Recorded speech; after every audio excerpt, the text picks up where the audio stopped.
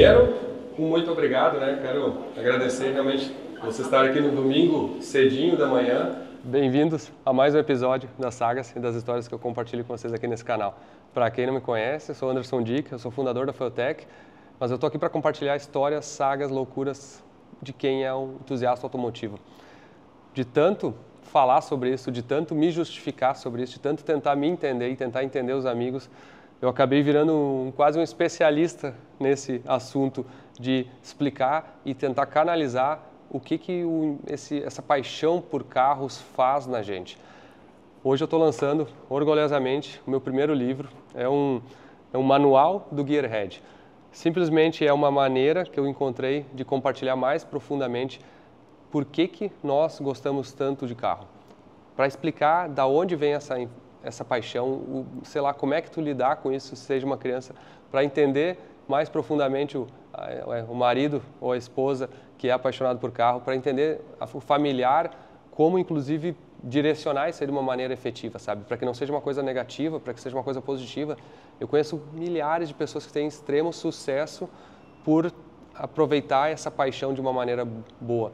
Então, acompanhe esse episódio. Eu vou estar mostrando alguns, algumas pessoas que são referência, na minha opinião, de casos ou de entusiastas automotivos que eu acho que são muito uh, legal de vai ser muito legal de compartilhar. Vocês vão acompanhar o lançamento do livro. Eu vou, vou, eu vou estar aqui fazendo o lançamento ao longo do episódio. Vocês vão ver isso aí. Está recebendo aí várias pessoas que vão vir para uh, participar dessa cerimônia para pegar um autógrafo, para entender. E eu, e, e eu, tenho certeza que as pessoas que vão vir aqui no evento são as pessoas que realmente são as mais apaixonadas. Quem não tiver a oportunidade de vir no evento vai estar acompanhando também, então, e também através de, desse episódio. Então, coloca na TV, chama a família aí, ó, pão de queijo, chimarrão e vamos assistir esse episódio que eu acho que vocês vão gostar. Hoje é um sábado aqui, é um dia que a loja está fechada, está todo mundo, não, não tem ninguém trabalhando praticamente, a não ser o pessoal que está me ajudando aqui, a, o, o, time. E a gente está preparando para o evento de lançamento que vai ser amanhã, que vai ser no domingo, né?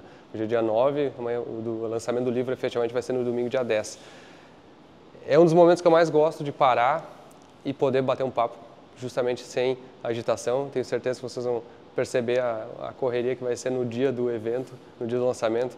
E eu acho que é importante, assim, explicar um pouco do que que me motivou a fazer esse livro e do que que vem me motivando não só pelo livro, mas o que vem me motivando a compartilhar com vocês sobre essa questão do entusiasmo automotivo do cara que é o gearhead dessa loucura. Eu vejo que muita gente não entende ou não sabe usar de uma maneira proveitosa essa paixão por carros. Eu vejo que às vezes se a gente canalizar de uma maneira errada, isso acaba virando seja um problema, um vício, uma despesa, atrapalhando a família, os filhos, e, e aí que, a, que, eu, que eu me preocupo. Eu acho que a pessoa entender o quanto ela pode usar alguma coisa que motive ela muito, que motive ela acordar de manhã, que motive ela trabalhar, que motive ela correr atrás, para que isso torne a vida dela melhor e para que isso traga oportunidade, é, é uma diferença muito sutil para quem se prejudica por esses fatores. Então, eu acho que quando a gente explica de uma maneira mais profunda como eu explico aqui no livro, uh, o que que faz a pessoa pensar dessa forma e, e, e, inclusive até opinião médica sobre isso, porque isso é mais não é uma coisa que o cara aprendeu. Tem gente que nasce gostando de carro ou ou algum fato na vida, em algum momento da vida, alguma coisa clicou e essa pessoa mudou para para gostar muito daquilo. Só que tem um outro negócio que eu acho que é legal, que é o seguinte, isso aqui a gente aborda para quem é muito ligado em carros, por exemplo. Só que se for pensar, todo mundo é muito ligado a alguma coisa. Não importa que é o carro. Tem gente que é muito ligado a avião ou, ou, ou outros tipos de máquina, mas tem, muita gente, tem gente que é muito ligado a viagens, tem gente que é muito ligado a plantas ou caça, sabe? E, e, e existem inúmeras ou milhões de variações desse sentimento similar. Então entender que na verdade a nossa motivação de vida, a maneira como a gente acorda de manhã e como a gente literalmente vai dormir pensando em alguma coisa, é a mesma, não importa o objeto do desejo. Só que a diferença é, para todos esses, como se tornar isso uma coisa positiva na vida, sabe?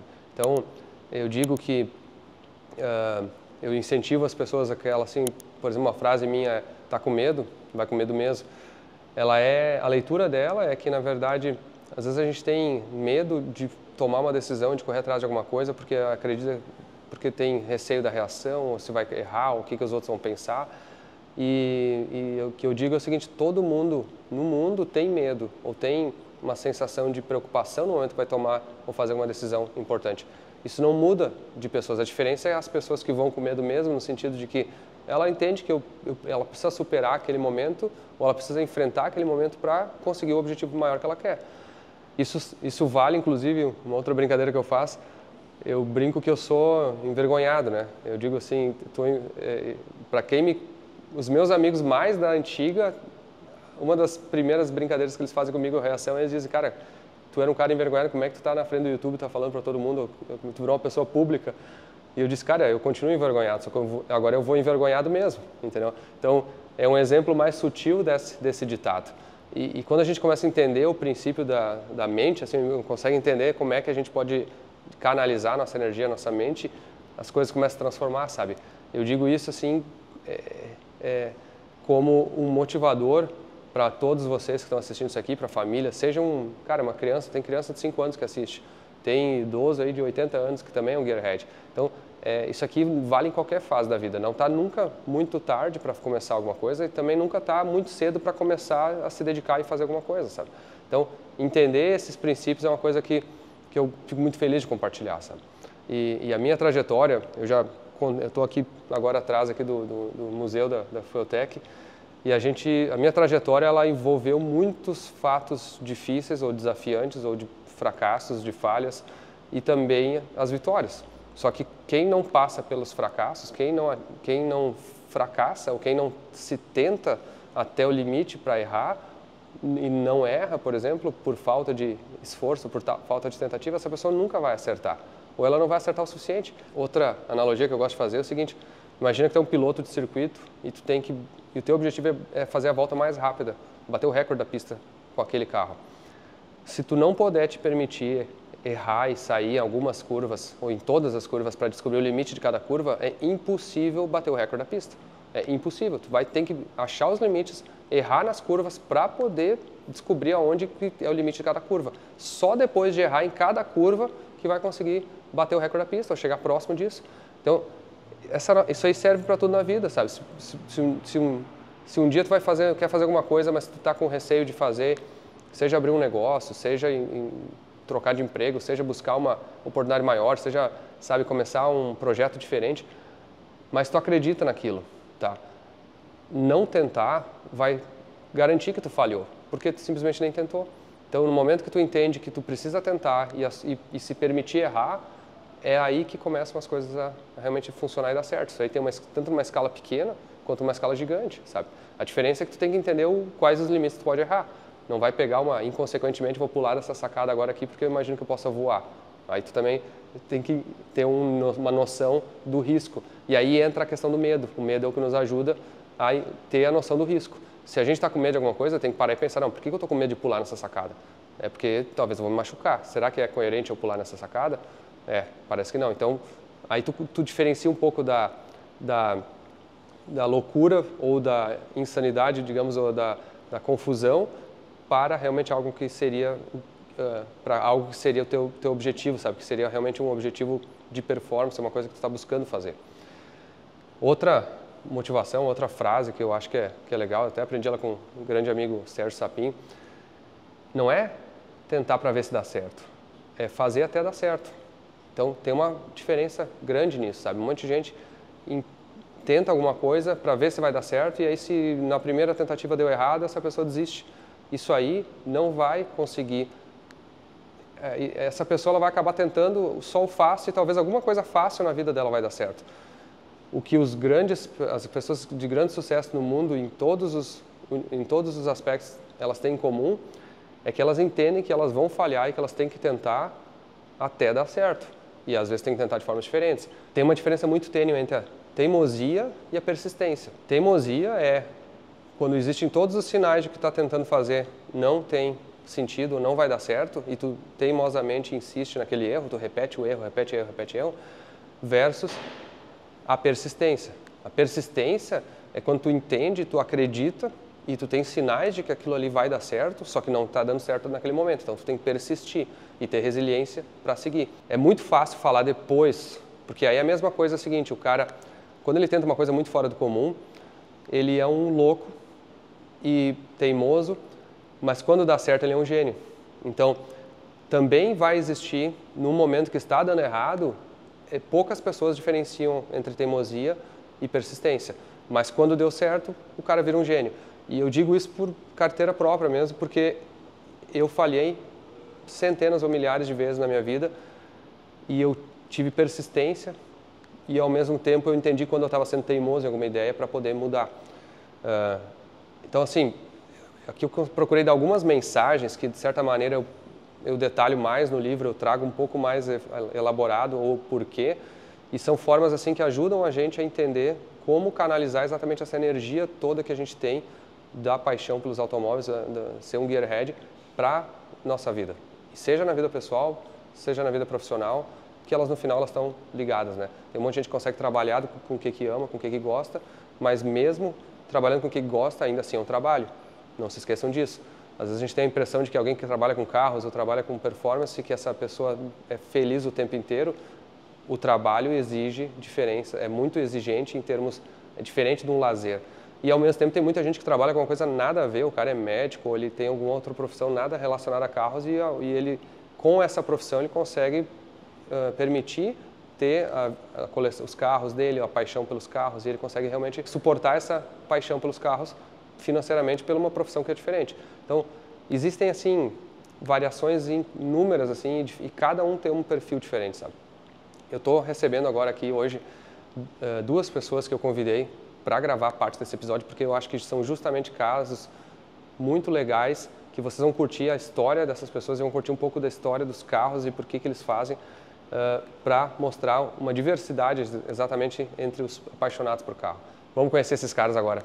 Vem comigo. Convidei um cara aqui muito especial, Bruno Kloss. E aí, tudo Como certo? é que é o nome da tua empresa? É Kloss? Kloss e Kühne, mas Kühne. pode falar Kloss e Kine. Kine, é, tá é, bom. o nome é difícil mesmo pra ser complicado mesmo, coisa Esse- de alemão. Esse cara aqui é meio alemão, meio É isso aí, brasileiro. é, Doble chapa, né? Aham. Mudou, tu morou na Alemanha alguns Morei, anos? morei quatro anos lá e fui fazer meu mestrado. Sou formado em engenharia mecânica no Brasil, fiz o mestrado em engenharia automotiva lá, na época era ênfase em segurança.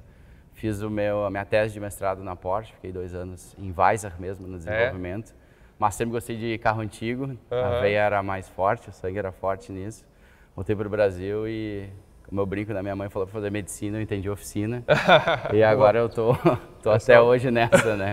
Mas eu convidei esse cara aqui porque eu- é, é, o Bruno é um cara assim apaixonado por carro que seguiu uma linha meio fora do, É. do comum, né, do padrão. Tu foi para o exterior primeiro, te especializou muito, eh, aprendeu muita coisa e aí tu viu que tu podia aplicar aqui muita coisa, né? É, exatamente. E fazer uma oficina, não dá nem se chama de oficina, mas é uma, uma empresa, né? É, eu, eu não sei também. eu- honestamente, não era o plano de ter uma oficina no início, mas foi virando que eu sempre gostei. Eu sempre fiz isso, Sim. o serviço de oficina. E hoje é uma oficina, sem dúvida nenhuma. E cara, eu, eu não fui lá pessoalmente ainda, tá? Ah, mas eu, eu vou, eu fiquei devendo para ele essa visita, tá? Culpa minha. Eu, Não, mas a agenda é corrida, eu deveria entendo. ter ido nessa semana, mas eu não consegui na tua oficina, então eu vou te pedir o seguinte, eu já combinei contigo, né? Tu vai fazer um vídeo mostrando um pouquinho da oficina, A só para o pessoal entender, porque eu acho que pouca gente tem noção da estrutura e do profissionalismo e do nível internacional que ele é. Ah, eu sei porque eu tenho o meu sócio lá Pro- na Proline, o, da Sim. Proline, o Eric, Sim, que sim, tem um Porsche sim, que comprou sim, um- sim. uns 70 e poucos agora. Isso, é, um 80 e poucos. 80 e poucos, né?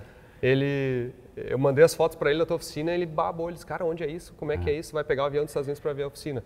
Então, assim, é legal, inspiração para muita gente que cara trabalha com vários níveis, especialmente para quem de repente nunca viu uma oficina num nível tão alto. Uhum. Eu vou dizer que talvez seja uma das oficinas com o nível mais alto no Brasil. É. E no mundo, até falando um pouco mais, É, né? eu acho que tudo vem, Anderson, de querer se especializar num, num produto só, né? Eu acho que tudo a gente não consegue fazer. É. E eu aprendi cedo, talvez pela engenharia, pelas experiências, que quanto mais focado tu é, mais tu É. entrega.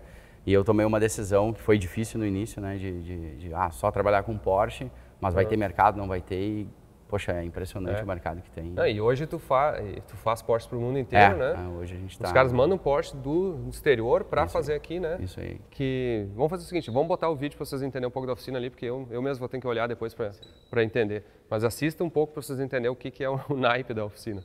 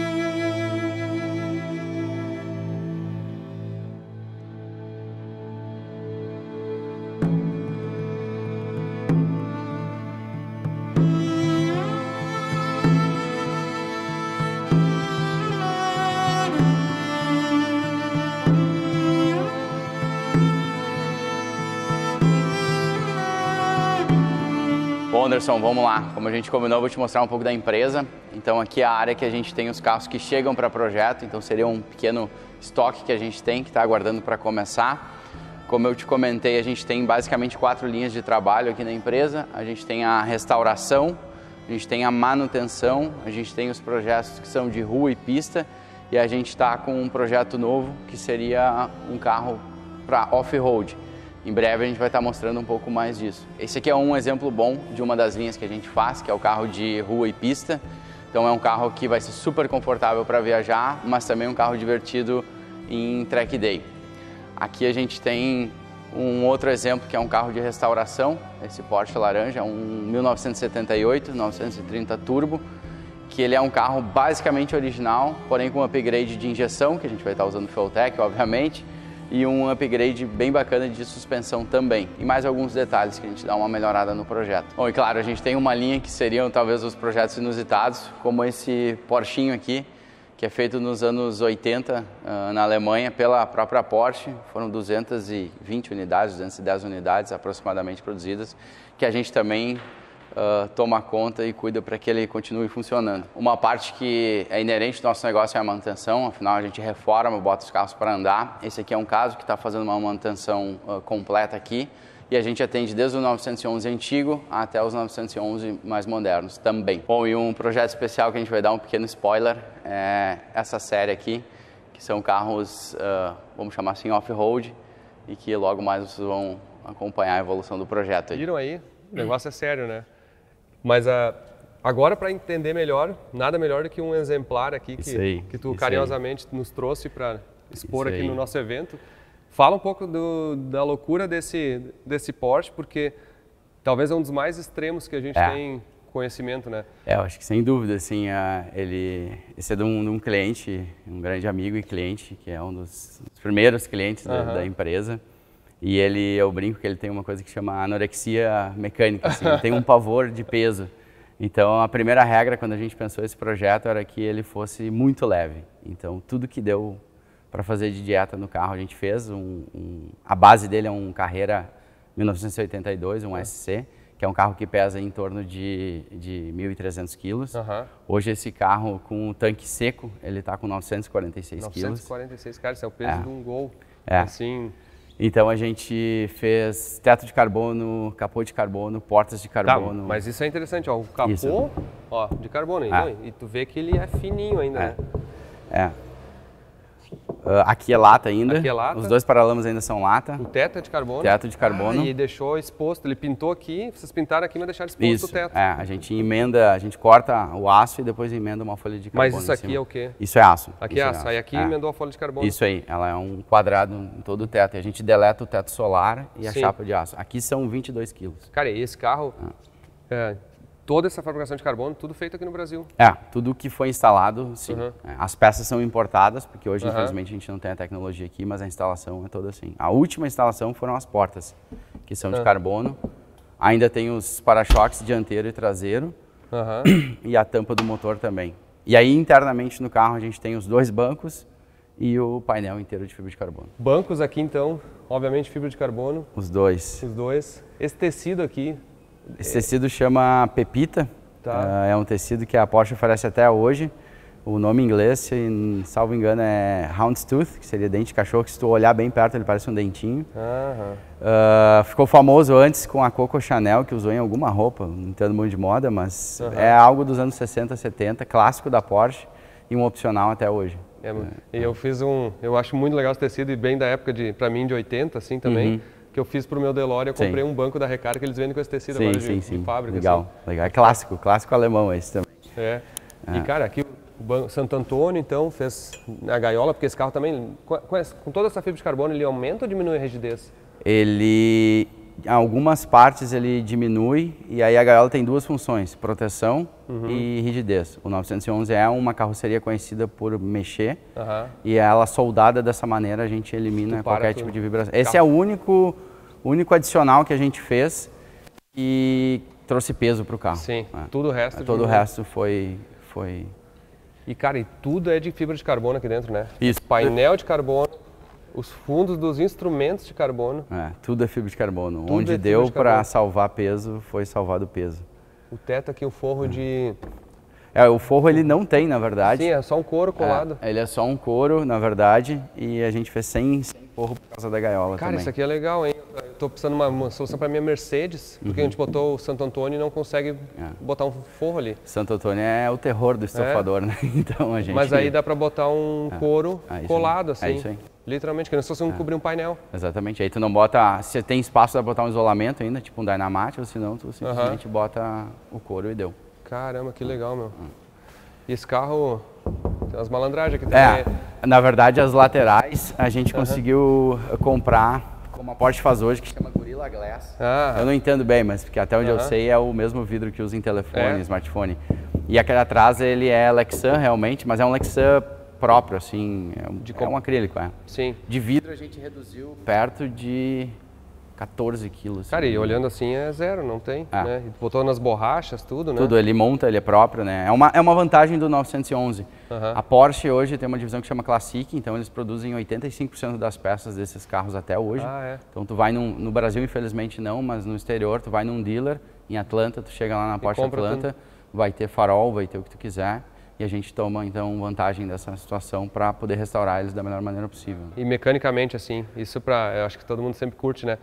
Ah, o cara fez um motorzão aqui, vocês fizeram É. um motorzão, né? Exatamente, o carro tem um motor 3.6 Aham. Ah, e aí essas coisas de, de carro antigo, né? A gente evoluiu o motor para um cabeçote de, de dupla vela por cilindro. Então, originalmente o 911 tem uma vela por cilindro. Esses cabeçotes aqui eles já são duas velas por cilindro. Então, esse é o primeiro upgrade, né? É, claro, a gente aumentou um pouquinho a litragem do motor. Aham. Então ele está hoje em 3.6, é, original é um pouco menos.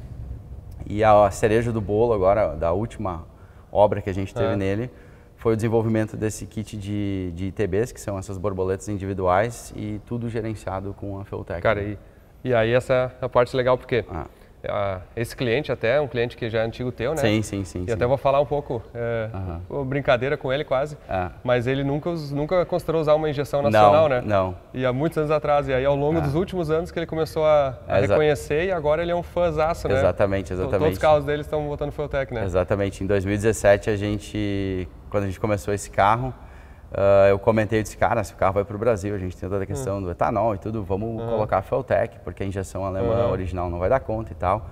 E na época, ah, ele e muita gente talvez não conhecia a Feltec, não sabia do momento. Eu já conhecia, a gente tem amigos em Sim. comum, a gente já se conhecia também. E eu vim batendo o pé, então finalmente a gente chegou num consenso. Eu disse, cara, não monto mais se não for com Feltec, porque a gente passou muito trabalho com as injeções originais. Sim, acaba custando caro pra ti, Muito, né? muito, e muito. Tu não vai cobrar É, e o carro não rendia, e aí quando a gente fez isso aqui, a gente fez até, a gente passou no dinamômetro lá no Alex, lá da. W Off-Road, o Maté foi um super parceiro, o Maté da Comp, Aham. no desenvolvimento do, do- dos ITBs realmente, o Venzon aqui na calibração, Uhum. no acerto do carro. E eu acho que o maior ganho que a gente teve, ou os maiores ganhos foram dois. Um, o gerenciamento completo do Uhum. motor, então hoje a gente usa EGT por cilindro, ah, bobina dupla então por cilindro e tudo mais. Uhum. Então a gente gerencia o motor, todas as temperaturas, tudo da melhor maneira possível, porque esse é um motor caro, né? A gente está falando hoje que o motor de Porsche é um motor que vai começar em 150, 180 mil reais. É, eu vou- depois eu vou falar pra vocês quanto é que eu, a gente Ah. acha que esse carro vale, mas deixa um pouquinho mais pra digerir. Então a primeira preocupação no motor desses é ter certeza que a gente está cuidando dele da menor maneira possível, né? Não, e que nem tu falou, né? O cara quando vê economiza, ou bota uma, uma eletrônica usada, ou uma eletrônica simples, Ah. ou uma. E até o barata, não- o- às vezes o cara é o contrário, né? Exato. Uma eletrônica antiga ela é mais cara do que uma Exato. moderna, né? Exato. Ainda mais nacional, né? Mas ainda Ah. mais uma, uma Feltec nacional. Então às vezes o cara pega e ah, essa injeção aqui custa, ainda mais com um cara desse que tem um carro de milhões, o cara vai querer pensar quanto mais caro, melhor, né? Ah. Exatamente. É a tendência desses caras. É, e, e muito assim, ah, vamos comprar coisa alemã e não sei o que. Eu até brinco, bom, o Anderson é alemão, eu sou alemão, se- se é por isso já é alemão isso aqui. Mas, enfim, a gente convenceu e não, não demora muito para convencer, né? Hoje a Feltec tem tanto caso de sucesso que é, é, é tranquilo de convencer. E o cliente está super contente. Acho que dá para até eu, eu dar um número, por exemplo, a cavalaria final do motor, Ah. ela meio que se manteve. A gente conseguiu lá no, no rolo do, do, do Alex 212 Cavalos de cavalos roda. de roda. Sete Mas o mais interessante é que dos 2.000 aos 4.000 RPM, porque esse carro tem um comando também bem, Sim. bem brabo, a gente teve um ganho médio de 36 cavalos. Então, é, é, essa faixa que era morta, porque a, a, Uhum. a injeção não dava conta, ela foi completamente restaurada agora para performance total. né? É, então imagina um carro de 900, 900 e poucos quilos, Ah. com 250 cavalos, Ah, um pouco mais de ah. 250 cavalos e, e, e o aspirado 6 borboleta, que é uma coisa muito nostálgica. né? Que é um clássico, porque esse carro ele é um tributo ao RSR, que era um carro de corrida dos anos 70 da Porsche, Sim. Que fez história, né? A Porsche é uma marca que, que tem história em pista Aham. e criada em pista. E esse era justamente essa configuração, era um motor aspirado com as borboletas individuais, era uma injeção mecânica, Sim. tipo diesel, adaptada Aham. para o carro na época, e era, o acelerador era um botão, que foi o que a gente tentou fazer aqui, aqui também, né? Vamos dar uma volta Vamos, então? vamos, bora. vamos lá.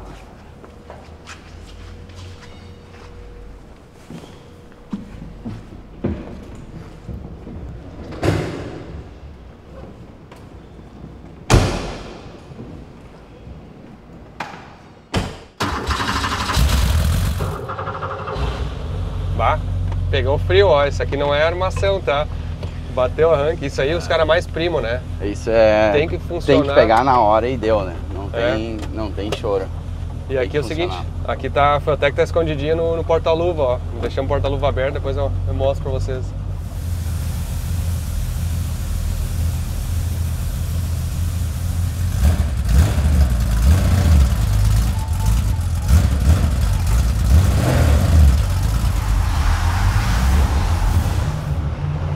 O ITB ele dá uma dificultadinha embaixo, né? Sim. Ele Fica um pouco mais. Não, mas tá, imagina como é que deveria ser original isso aqui, muito.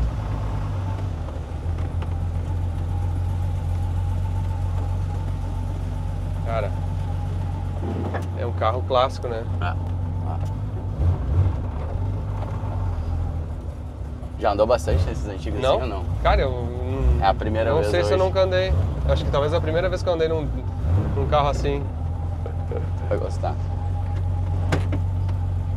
Meu, o painel é muito legal. O painel é muito legal. A gente sempre tentou fazer o mais simples possível, assim, tudo, sabe?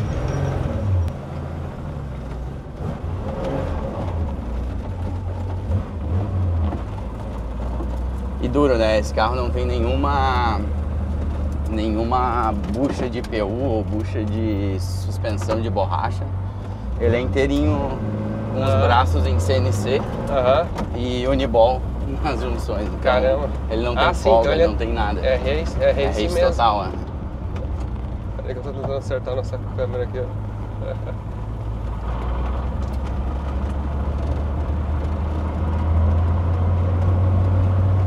Cara, é muito. A sensação do carro é um. Dá pra sentir que o carro é leve. Ah, ah, Percebe que o carro é leve, porque é como ele copia a pista, né? E não é nem só a suspensão, porque tu pode ter um carro pesado que copia a pista, Exato. porque a suspensão é dura, né? Esse carro aqui tu vê que a suspensão trabalha, né? Ela não é dura, a suspensão, o carro é leve. Exato. Eu acho que essa é uma mudança de cultura bem europeia, assim, porque os europeus prezam Aham. muito pelo carro leve, né? E no Brasil a gente preza muito por HP, assim, e Sim. aqui foi uma desconstrução, assim, ah, não vai ter um HP tão alto, mas a leveza que o carro tem faz com que ele funcione de uma maneira Sim. impressionante, assim, na verdade. Tá? Cara, esse é um carro extremo, assim, então tu tem menos, ah, menos proteção acústica, tu ouve bem mais. Sim. Dá pra fazer um carro super confortável, mas esse aqui foi pensado inteirinho na Sim. performance, né? Vou ligar o. Ah,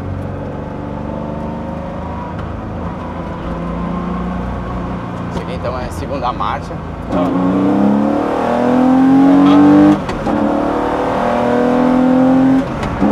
Cara, pô, empurra bem mais que o cara imaginaria pelo peso, Ainda né? tem que usar a ponta ataque pra Meu. maioria das coisas, né? Ah, aqui, ó, fazendo- Posso aqui já? ah. Cara, que legal, meu. Então tudo é meio seco nele, né? Sim. Então é, o engate tudo é meio forte, tem que ser tudo com um pouco de força. Cara, ó, como gira forte, fácil, né? O câmbio. Que câmbio é esse? aqui. Esse aqui é um câmbio 915 original dele, só que tem uma relação de cup de época, na verdade. Ah. Então ele é um pouquinho mais curto.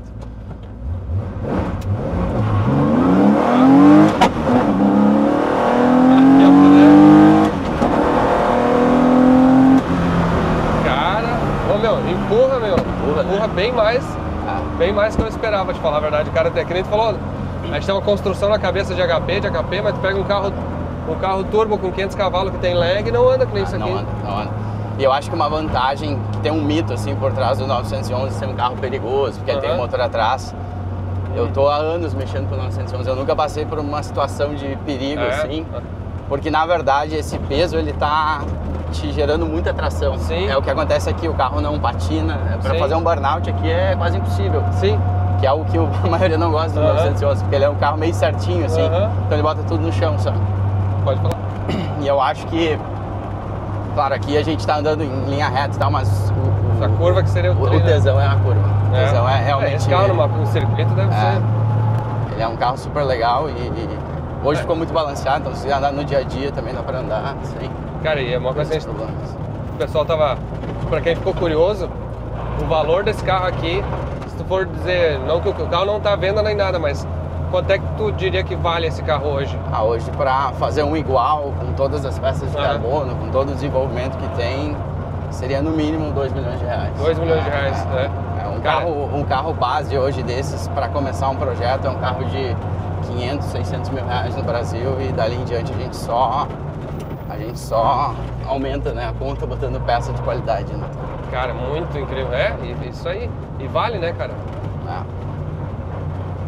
Ele entrega, eu acho que isso tem uma coisa que o 911 faz Dá uma, sempre uma volta a mais, assim. Só que. e, e é algo que eu porque eu, eu comecei minha carreira não exatamente gostando de Porsche, mas gostando de carro e como é que eles Aham. funcionavam. E a Porsche foi a marca que eu me identifiquei como a melhor solução Aham. para o automóvel. Assim. Eu acho que tudo que eles criaram é muito inteligente. Então foi assim que eu, que eu me liguei com a marca e é por isso que eu trabalho até hoje. Mais uma vez eu vou voltar. É, eu ia dizer pra eles ficar aqui. Ah, vai, vai pra lá de novo. Peraí. Cara, e eu tenho uma. Aham. Eu tenho uma. Uma, uma vontade. A minha, a minha, meu gosto por carro é muito eclético, assim. Eu Sim, gosto de ter um pouco de cada. Sim, Assim, eu nunca vou ser um cara que vou ter tudo os carros igual. sim, sim. e sim. Porsche é um que tá na minha lista Sim. há muitos anos, mas não tá me ajudando muito, porque ali o preço dos Porsche é cada vez mais difícil. Se eu fosse. Se eu fosse pegar um, um critério de um. Na minha opinião, um Porsche é o seguinte. Eu gosto de um carro que. Não, não só Porsche, eu gosto de um carro que ele tenha valor Uhum, ah, real, assim, do tipo, não só porque ele é uma obra de arte, uhum. mas porque ele realmente é um carro que. Eu gosto, uma- eu gosto daquelas gerações menos apreciadas, vamos Sim, dizer assim. sim, sim, sim. Tem umas, gera- aquele. é, umas gerações que pegaram um hype maior do que Aham. deveria Uhum. e tem umas que, pelo, pelo contrário. Sim. Qual que é a geração de Porsche, na tua opinião, que talvez seria o carro para esse perfil? Acho que sem dúvida nenhuma a primeira geração refrigerada a água, que é o 996, Tá? que seria ali os carros de 98 até 2004, se não me falha a memória.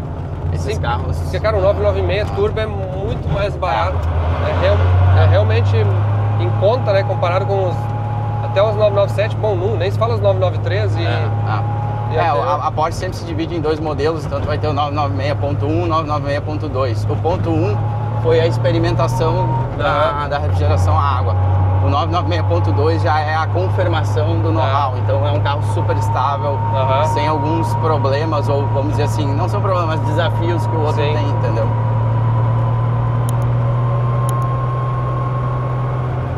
Fazer a volta aqui um- Aham. um pouquinho mais rápido, só pra tu ver ele com velocidade.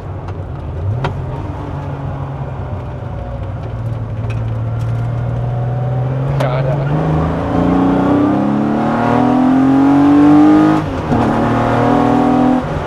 É tri, né, mano? Caramba. Não, olha, muito a poder. É leve, cara. Eu, eu tive que repensar o conceito, assim, essa história de fazer tudo leve. Sim. A cereja do bolo aqui, a última coisa que o dono fez questão de botar foram os prisioneiros de roda em titânio. De titânio. Tamanha a, a, a caça, a, Por tudo peso. que pesa no carro. é. Caramba. E ainda tem banco de trás ainda pra levar as Tem, crianças. tem. Ah, ele tem duas filhas e elas gostam bastante, Aham. então essa é a única condição desse projeto aqui. Tem que manter os bancos, que é um carro de família até hoje. Isso, é o que eu- isso aqui ainda vem a calhar no episódio de hoje, né? Que eu tô falando do manual do Gearhead.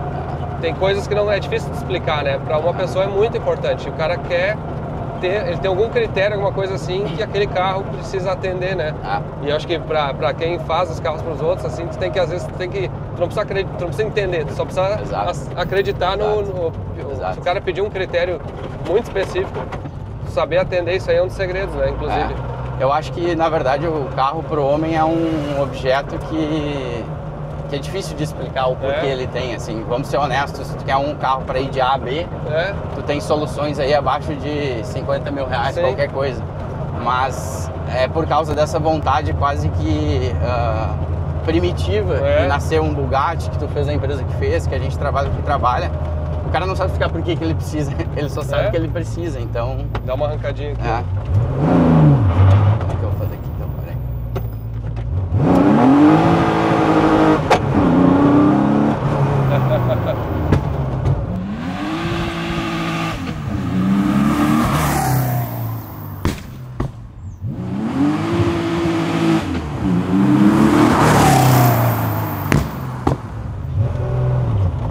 Mas é louco esse carro mesmo. É louco, cara. Ah. E ele tem ainda um. Ele uma pegou embaixo aqui? Ele pegou. Deixa Mas a eu gente só tem um então. lift, ó. Então tá. ele levanta Ah. 3 centímetros a dianteira. Tá levantando a dianteira. É. Cara. E aí pra poder entrar em garagem, coisa assim, ele já não vai pegar um. Que animal. Pode botar de frente assim mesmo. É, não vai botar muito mesmo. Cara, muito obrigado. que Parabéns pelo trabalho aí. Eu Não só agradeço. é legal compartilhar aí com as pessoas uma, um tipo de projeto tão extremo, né? A gente está Uhum. falando hoje no episódio sobre entusiasta automotivo, que é desde o cara que trabalha, como tu, Isso, como eu, para o cara que é o colecionador, o cara que tem a, a paixão por isso. Então, eh, acho que dá para exemplificar. deu- nesse carro aqui a gente conseguiu exemplificar alguns extremos muito Ah, interessantes. Exatamente. é. A vontade, acho que todo mundo que gosta de carro é a mesma. É. A questão é só em que patamar tu consegue É. botar essa vontade pra fora, né? Cara, e o teu patamar, os Isso teus aí. clientes tá fantástico. Parabéns, Legal. Fico feliz de ver uma Obrigadão, empresa no obrigadão. Brasil com esse patamar mundial aí. Da mesma forma a gente, a gente só consegue hoje andar com esses carros graças à. Feltec, então é uma, é uma ajuda mútua aí, uma cooperação. Show. Tamo Valeu. junto. Valeu. Valeu. Obrigado pela voltinha aí. Eu que agradeço.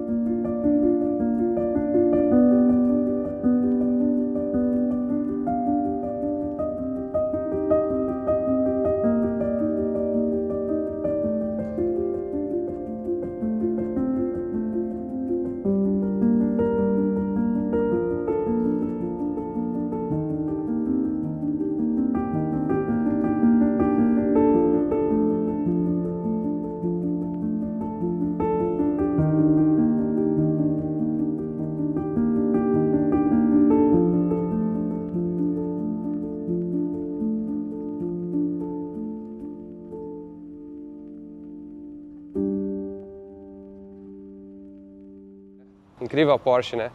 Só que agora eu vou fazer o seguinte, vou buscar o outro cara no aeroporto e eu vou fazer um, um agrado para ele. Ele é um gearhead, mas eu acho que ele nunca andou com um carro desse na vida. Ó.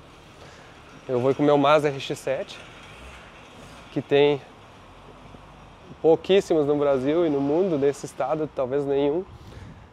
E eu tô louco para andar com ele, precisava de uma desculpa. Tem três novidades nele, ó.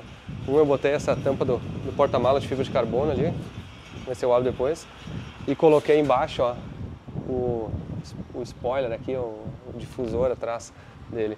E a terceira novidade, eu coloquei o câmbio original do carro de volta, que era os cinco marchas, que tem a primeira, a primeira marcha bem melhor.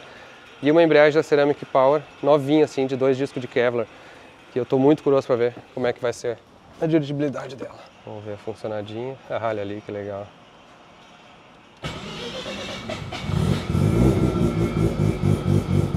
Que tre.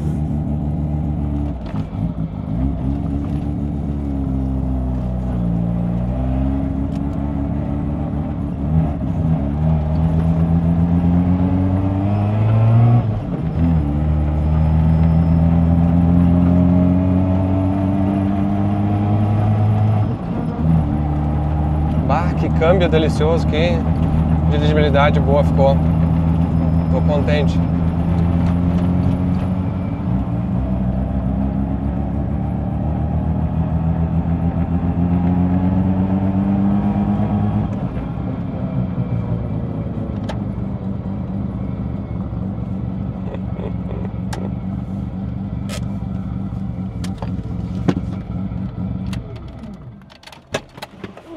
Esse eu acho que tu não andou ainda, ou já andou não? Não, nunca, nunca. Nunca andei com rotativo. É. Vamos ver se dá. Aí? Ah. É. Ó. Ó a batidinha de arranque.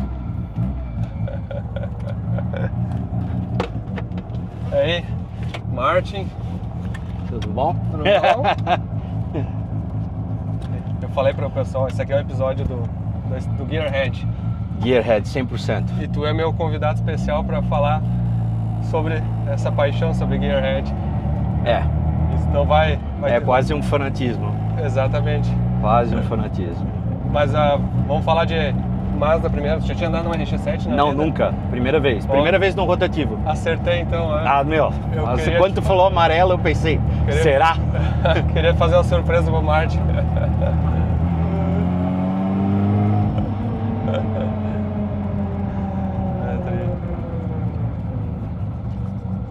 Acabei de botar o câmbio de cinco marchas original de volta, que eu tinha um câmbio de todo mexido, que era droga de andar. Aham. Uhum. Ah, ficou uma delícia. Aí tá com uma dupla embreagem ou. Dois discos. Dois discos. Dois discos de. Cerâmica? Não, de Kevlar. Ah, Kevlar. Muito bom. Ele escorrega mais, né? É, ele é mais. Mais conforto.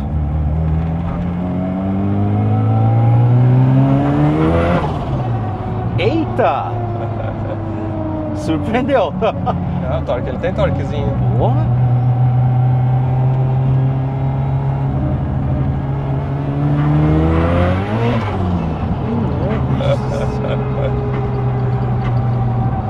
pegando pneu atrás. Tá pegando, peraí. Quantos ah. cavalos tem um carro desse? 500 por aí. Na roda? Ah. E o carro não pesa um 1.500 quilos? Não. Putz, que tesão. Só pra, só pra sentir o torquezinho. É, o carro é leve. Não, e tem muito mais do que eu, é. que eu esperava. É? São dois rotativos? Dois rotores. Dois rotores. É. É 1.3 litros, na verdade. Aham.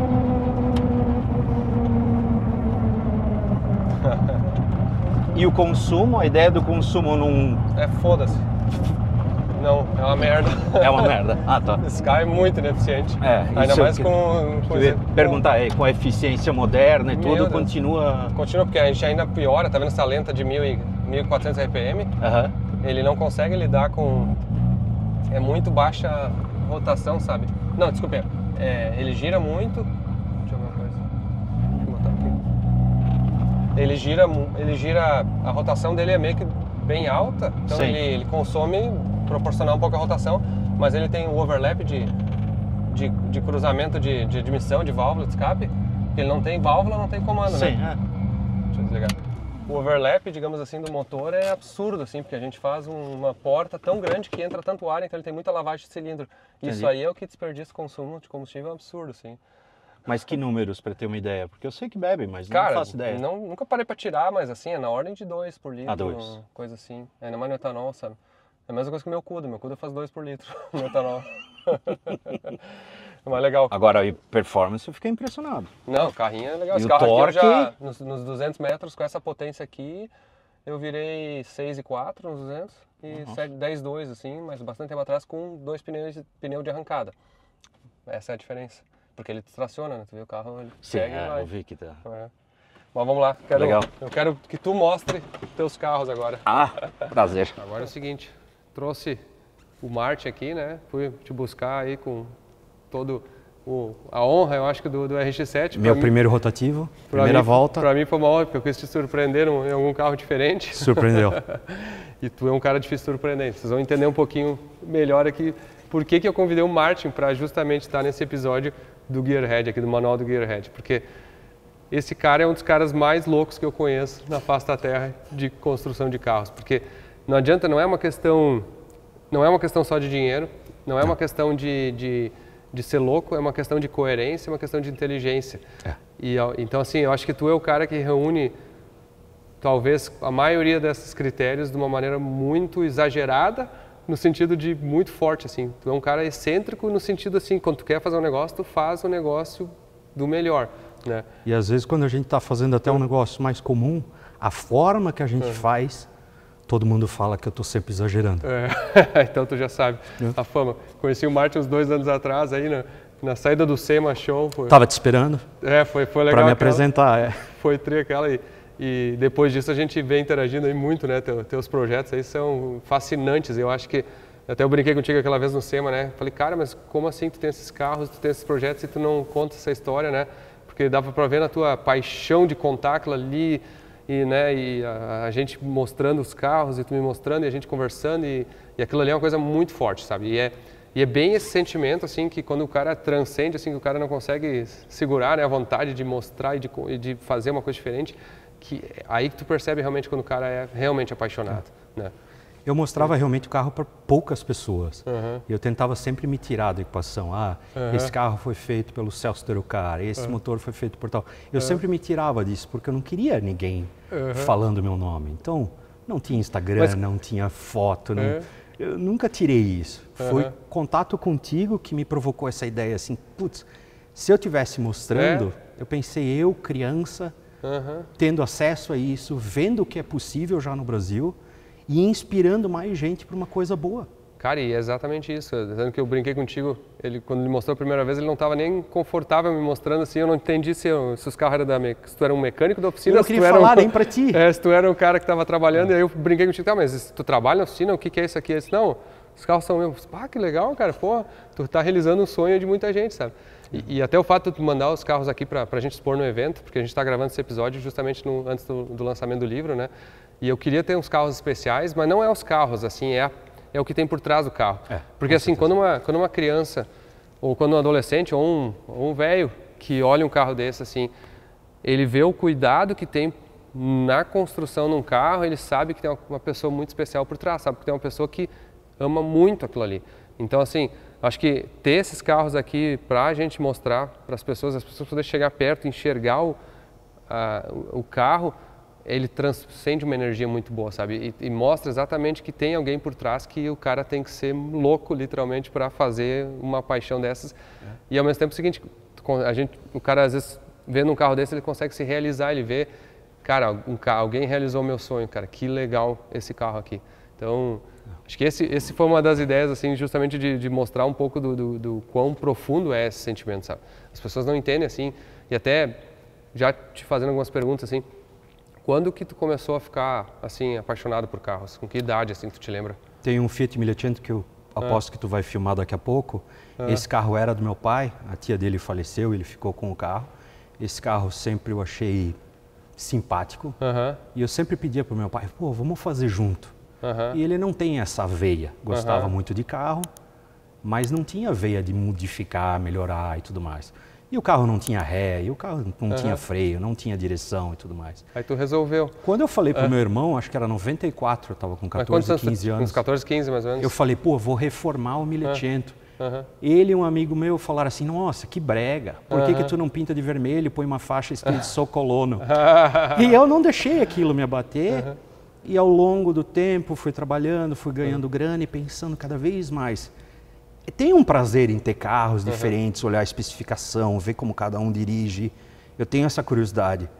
Mas construir eu descobri que é bem melhor que comprar. Aham, é porque é único, né? sabe? E, é, e é uma coisa tua que não acontece sem muito estudo. É. Porque eu me especializei praticamente em ar-condicionado, em couro, em, em xenon, sabe? Um som. E- Em som, todos os carros têm, É. têm algum som, alguma coisa específica. Hoje em dia eu já entendo muito mais de motor, hoje entendo muito mais o papel da full tech nos meus carros. E, e é tão complexo, áreas distintas e de conhecimentos técnicos realmente profundos. Então são horas É. para eu poder ter o carro pronto. E a gente faz esse carro em parceria né, com algumas pessoas e eu fico empurrando eles com tecnologia. Sabe, por que não fazer de titânio? Por que não fazer de fibra de carbono? E fica puxando, puxando, puxando, puxando. Deixa eu pegar um Eles gancho. reclamam, mas ao mesmo tempo a gente quer realmente chegar no nível máximo. É, e o que tu falou ali, ó, realmente, que é a melhor maneira de aprender sobre alguma coisa é estar interessado por essa coisa, né? É. Se tu pegar uma criança e botar na escola, numa uma, uma aula que ela não está interessada, qual que é a chance dela aprender? É mínima, né? E ainda tem pessoas que são mais dependentes disso, da motivação, né? É, e quando, só que normalmente essas pessoas que elas têm um... Até pode ter, cara, pode ter criança, uma criança com déficit de atenção, por exemplo, isso nada mais é do que uma de dificuldade de botar atenção para algo que ela não tem interesse. Né? Eu sei porque eu tenho um filho com TDAH e, e, é, um- é um- e é desafiante entender isso, é desafiante achar o diagnóstico e achar, ah, canalizar, inclusive, essa, esse potencial dele, porque ele precisa ter interesse na coisa para poder se dar bem. Então, É despertar um sonho em gente que tem déficit de atenção, uma das coisas mais fantásticas que tem. Mostrando esse carro, por exemplo, amanhã no Full Tech Chimarrão, eu vejo assim que, que eu posso inspirar uma pessoa que já trabalha na área, pensando, nossa, isso é possível, eu não sabia. Que é o que eu mais ando escutando. Aham. Mas a outra coisa também, pô, esse carro aqui, ele custa certa, tem certo valor. Como é que eu faço para conseguir isso? Sim. Sabe? O que, que eu tenho que estudar? O que que, como eu tenho que começar a me comportar diferente na escola? É. Então, de alguma forma, tu inspira. Exato, e essa parte do, do, do curto prazo, do longo prazo, né? É muito importante as pessoas entenderem, assim, elas podem olhar assim para pessoas que realizaram seus sonhos de, de conquistar um, um bem financeiro, um bem monetário, e, e eles às vezes não entendem que aquela pessoa teve, por qualquer que seja a oportunidade que ela nasceu na vida, ela teve que batalhar de alguma maneira para conseguir chegar ali. É. E, e, e às vezes é o seguinte, não quer dizer um carro de 10 milhões, 1 milhão, ou 100 mil, ou 10 mil, o, a- a- o retorno para cada um é, não é proporcional ao custo do carro, ele é literalmente proporcional ao que aquela pessoa consegue sentir que, que aquilo vai trazer de volta, né? Se saber se reservar, resguardar, é, ser, ter a educação de se de melhorar. Tanto faz se o cara quer o carro de 100 mil ou de 10 milhões. É, O comportamento é o mesmo. é o mesmo, Quanto mais tempo tu segue com aquilo sem, sem cair, exato. sem, sem dizer sim para festa e sair bêbado da festa. Sabe? O cara fica em casa, fica vendo o YouTube do Anderson, fica aprendendo. Sabe? Eu assisto todos. Toda vez eu tenho alguma coisa. E eu sei que no momento que eu não me dedicar dessa forma, eu não vou estar conseguindo fazer o que dizem que não dá. É, é isso aí. E o desafio é mais legal até do que no dia que tu consegue realmente ligar o carro e, É. e andar com ele. E esse que eu ia te perguntar, da tua sensação assim dos teus carros, qual que é o momento que tu mais curte? Eu sei que todos são legais, né? Mas assim, ah, O carro que eu mais gosto, tam- também pode ser. É uma pergunta mais difícil, eu acho. eu definiria como risadas por quilômetro. Tá bom? Aham. O que mais me traz alegria é o Dacon 828. é?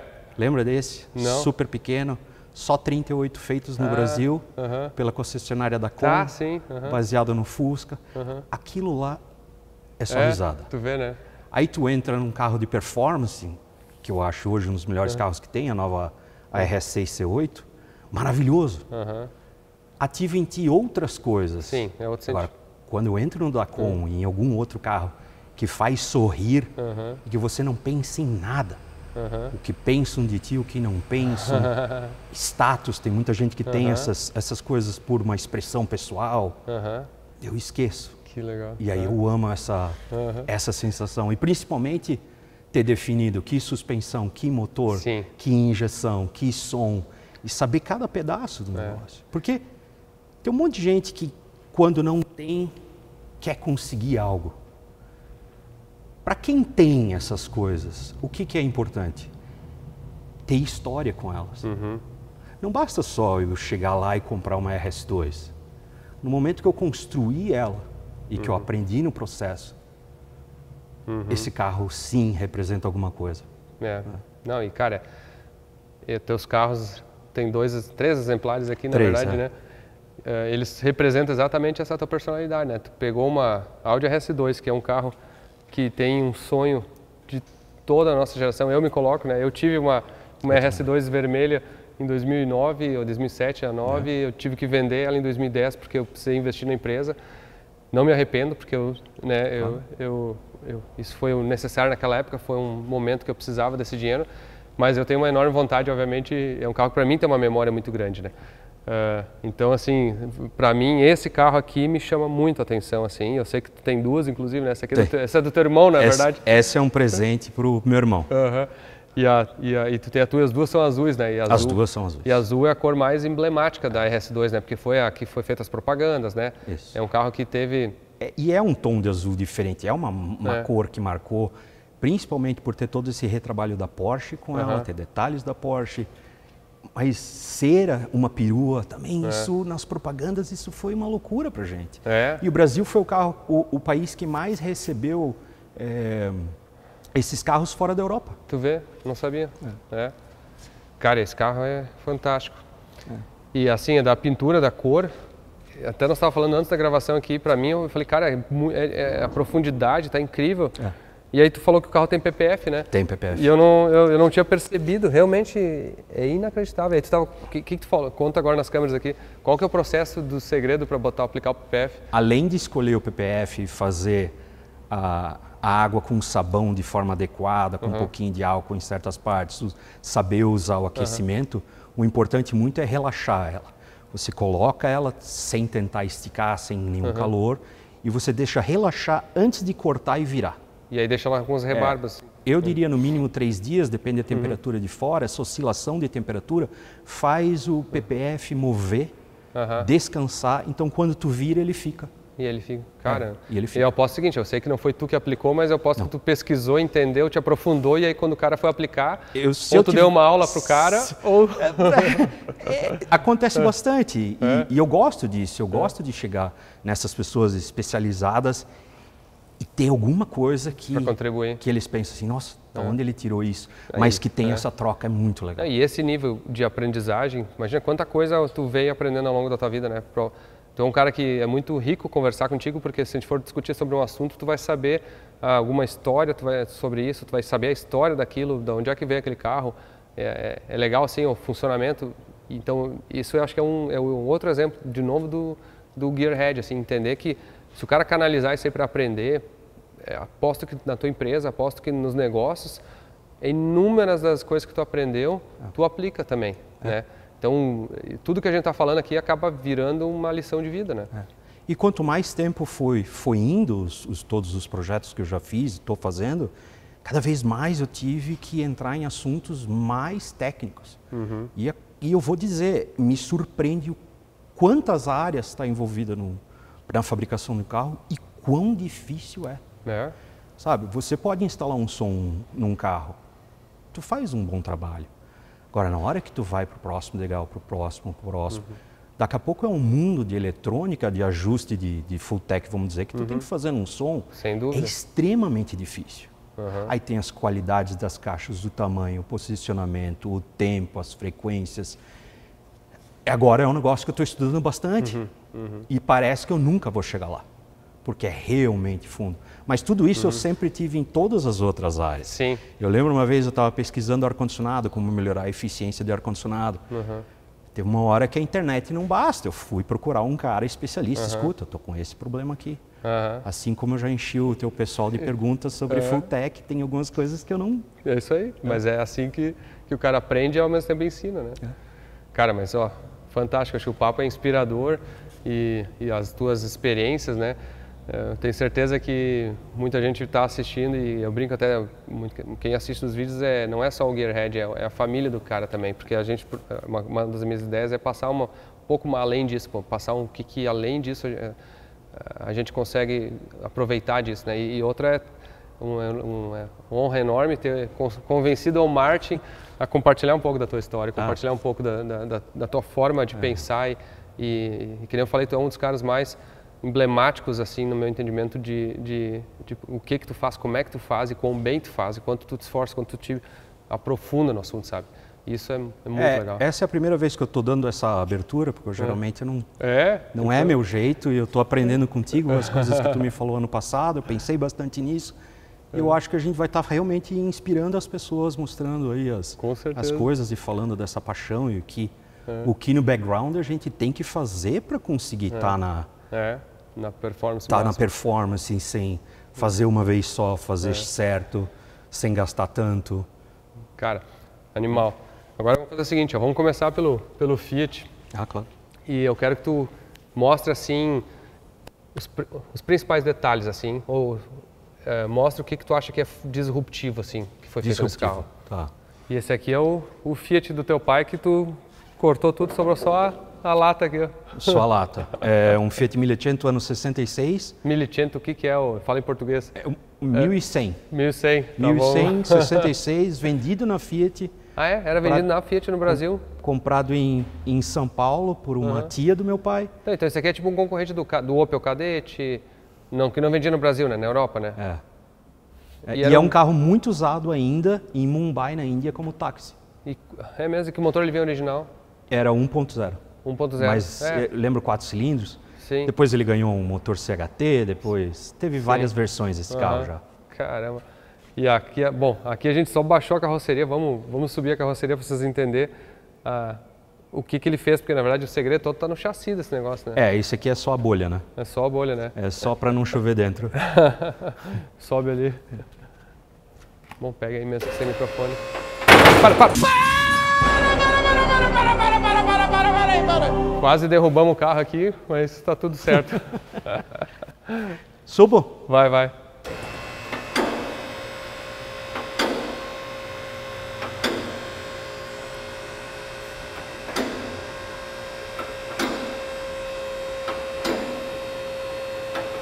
Um detalhe, esses elevadores a gente recém instalou, para quem acompanhava a nossa oficina aqui na Feotec, a gente tinha invertido, era no outro lado, e a gente passou agora para o pessoal poder ver lá de cima do museu, quem, quem vê. Uhum. E aqui também, ó, uma parceria que a gente está fazendo com a Marrove, que quem conhece de equipamento de qualidade no Brasil sabe, a gente está fazendo aqueles duplicador de vaga. Ah, que, isso é legal. Que nem a gente tem nos Estados Unidos aqui, esse Sim. da marca foi o Tech aqui no Brasil. Ah, isso é legal. Sei que tu vai precisar de alguns aí. Eu vou. O que, que é o mais inovador nesse carro aqui? Construir ele do uhum. zero, só ocupando uma bolha, já é um desafio. Sim. Escolher os metais que a gente escolheu para trabalhar em conjunto foi difícil.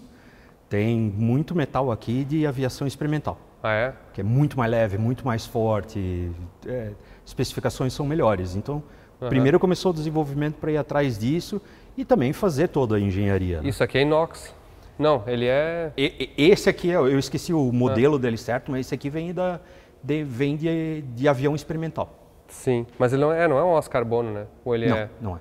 É, não. eu ia dizer, só pelo. Porque ele tá. Ele tá cru ou ele tá pintado? Tá cru. Pois é. Não é titânio. Não. É, imagina, vai, não, sabe que tem Um dia, talvez. Tem um cara meio louco às vezes. É. Cara, é, e as chapas aqui, tudo, né? É. Então esse, esse carro, o conjunto dele era, não é para pista, é um carro de rua, mas a gente queria usar já algumas coisas bem, bem pista, né?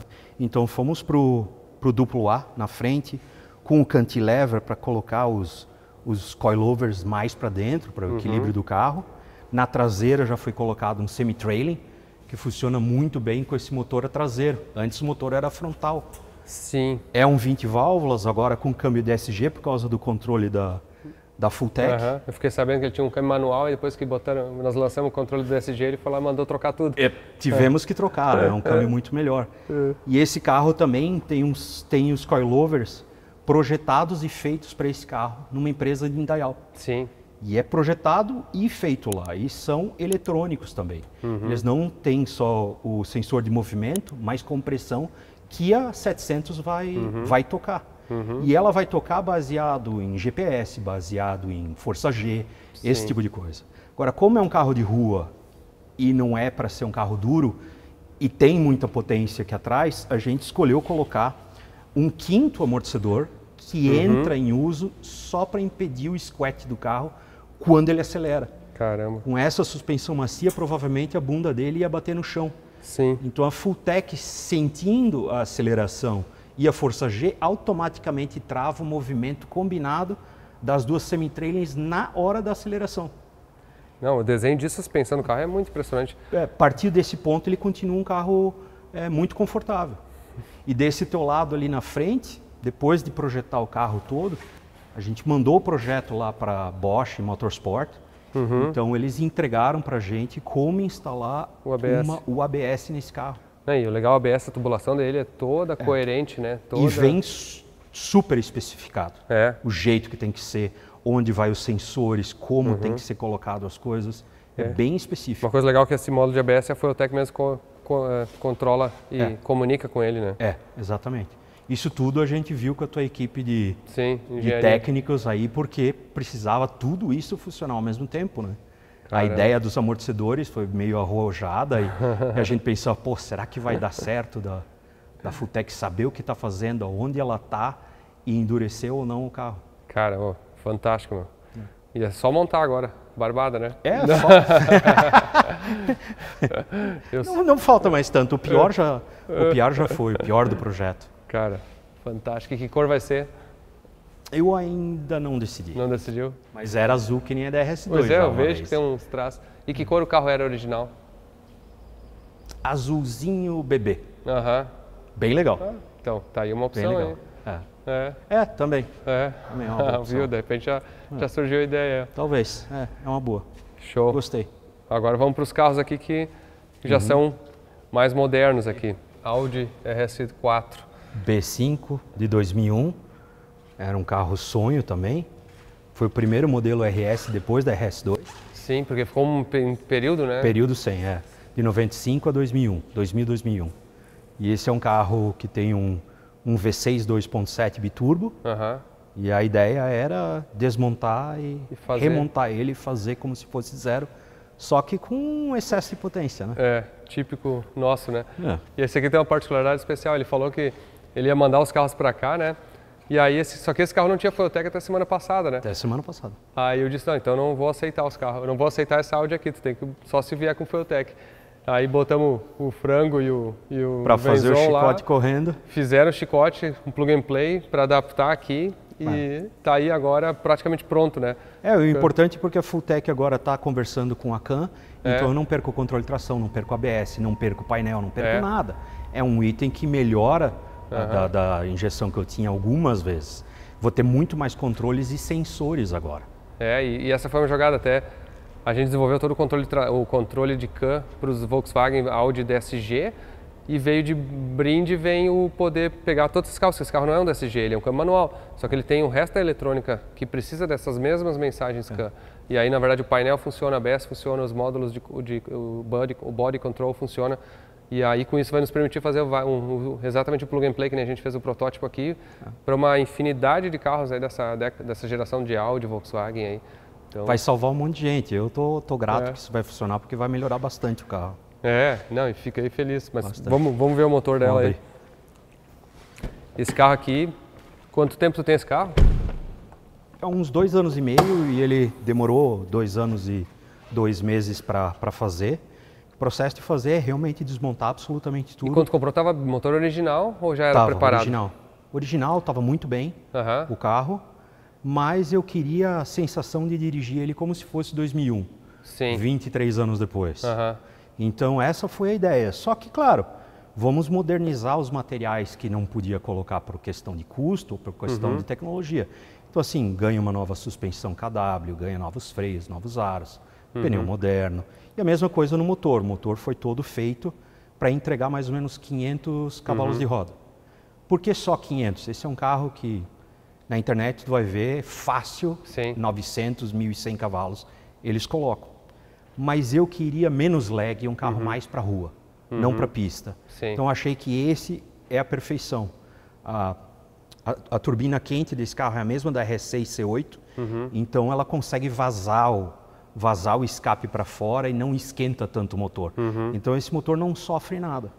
Sim, Aí, é. claro, põe intercooler, põe cano, põe, põe tudo que dá para suportar essa, Sim. essa fórmula É, toda. e o carro é, vê lacrado inteiro, assim, né? Muito é, bom. to- todas essas peças a gente não encontra, a gente imprime.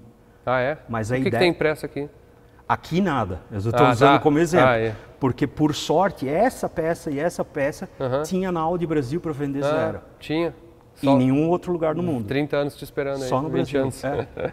Então, assim, mas o resto, a ideia é montar o carro com nada, ma- com mais de um ano.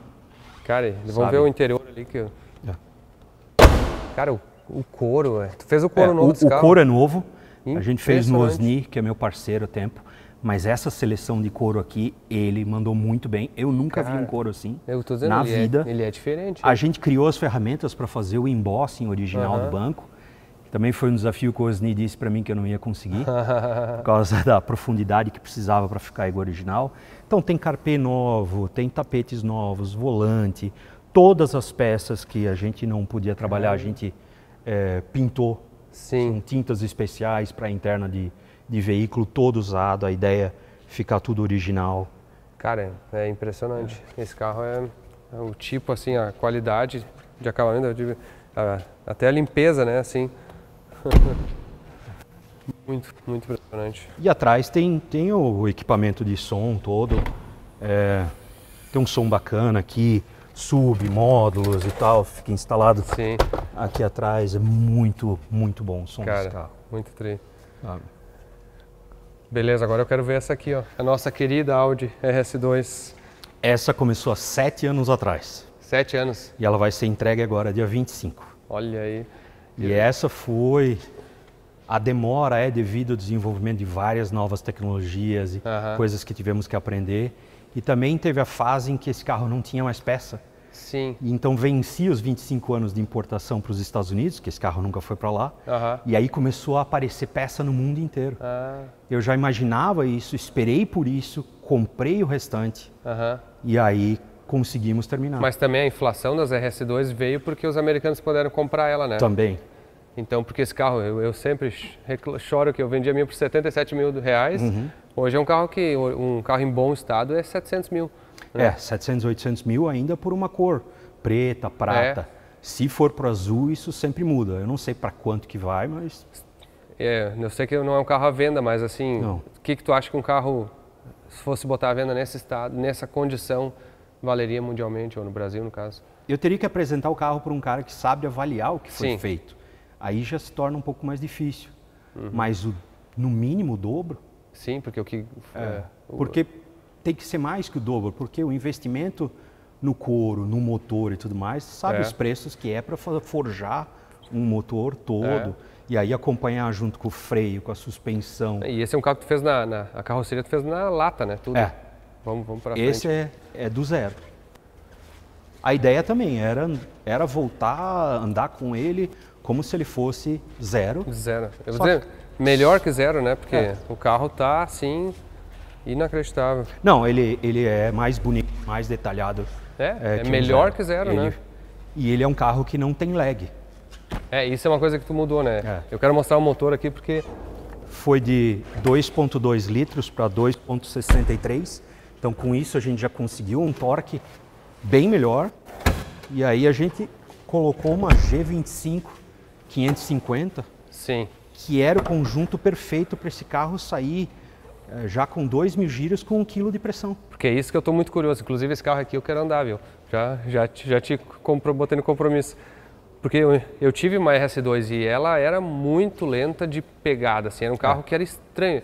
Até ficava pensando se eles tinham feito isso aí para recriar meio que uma Porsche old school, assim, porque até porque o motor é feito pela Porsche, né, modificado pela Porsche. E ela tinha um lag muito grande e, e o carro é pesado, né, também. As pessoas pensavam que estava sempre quebrado e não estava. é. Ele realmente tinha um lag muito forte. E aqui então tu aumentou a cilindrada 2.2 para 2.6 2,6. e botou um turbo Uma G- moderno, né? É, uma G25 550 ficou ideal aqui, porque 1.000 e- 1.800 giros já está com 1 kg. Pois é. Então ele vai entregar aí no máximo 400, 400 cavalos na roda, que para um carro com esse peso, nesse ano, é, nesse tamanho dá uma, uma coisa legal no coração. Cara, é impressionante. E uma coisa diferente, né? Como o motor é muito comprido, ele não tem. o- É tudo Ele até tinha um radiador aqui, É, ele tinha tinha um secundário, só que como a gente melhorou tanto, Tanto esse aqui. aqui, É, tu tirou. e ainda trocando, botando uma SPAL brushless ali, Aham. quer dizer, 2.300 CFM, é até Ah, loucura. aqui ele ia. Aham. Então, a admissão agora é por aqui, aqui por baixo, antes era por cima. Aham. O, o, o intercooler era bem estranho, porque o, o ar saía pressurizado aqui, ia para lá e voltava e dava toda Ah. essa volta. Sim, agora simplificou. Então agora, e muito mais eficiente, né? E esse é um carro também, que ele tá com uma FT controlando FT. tudo, né? E ele manteve toda a eletrônica original, que nem ABS, Todo o painel, o painel, tudo funcionando, tudo tem né? que estar exatamente como é o Porque esse era original. um carro que ele já não era, era uma geração anterior, então não era tudo CAN, né? Não, ele era não. muita coisa analógica, né? É mais simples. Esse carro meu, o meu, a minha RS2, quando eu tive ela em 99, não, desculpe, 2009, ela dava muito problema de ser original, só que era uma época que a Fueltec não controlava tudo que nem ela controla hoje. E eu não tive coragem também de trocar e de fazer nada, não, Uhum. de arrumar. Uma época eu tive tanto desespero de tentar arrumar ela que eu pegava a ECU, botava no freezer e ela voltava a não falhar. Sem mentira. Essa Era é um problema maluco desse, eu não- nunca consegui descobrir. Tentei ressoldar a placa e não Uhum. resolvia, cara. Não resolvia.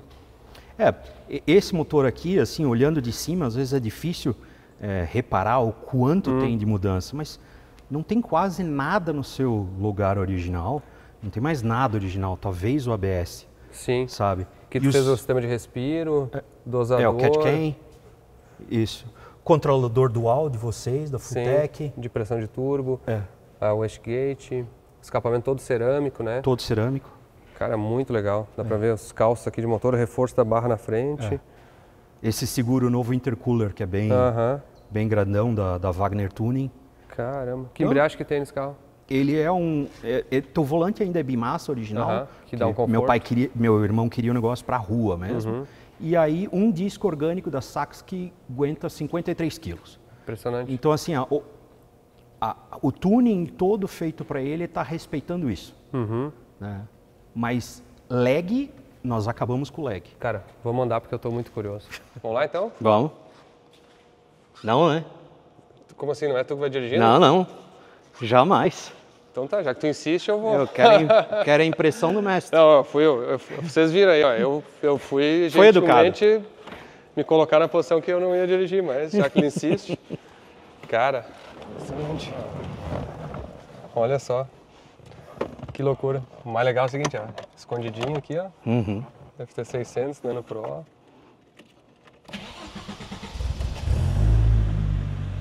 Bonitinho, hein? Ah, que motor trem. Tá, vamos lá? Vamos lá.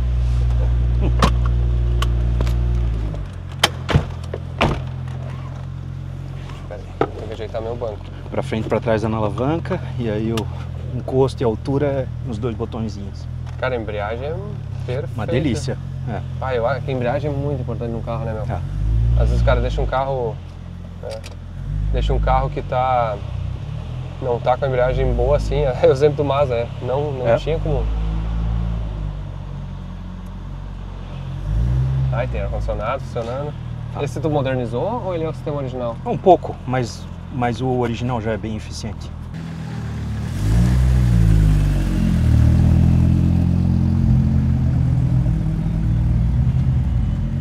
Cara, tu escuta a turbina. Escuta a turbina so- soprando na lenta, cara. Meu, eu nunca É vi. tanto eu, que ela gira Eu nunca vi e embaixo. Né? Caramba. Também me surpreendeu. É impressionante.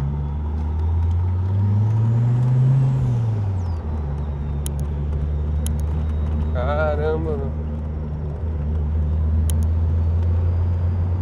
Ah, que legal, meu. Não sei se vai dar pra escutar o som. Deixa eu dar mais uma volta na rotatória só pros caras verem. Daqui pode ir.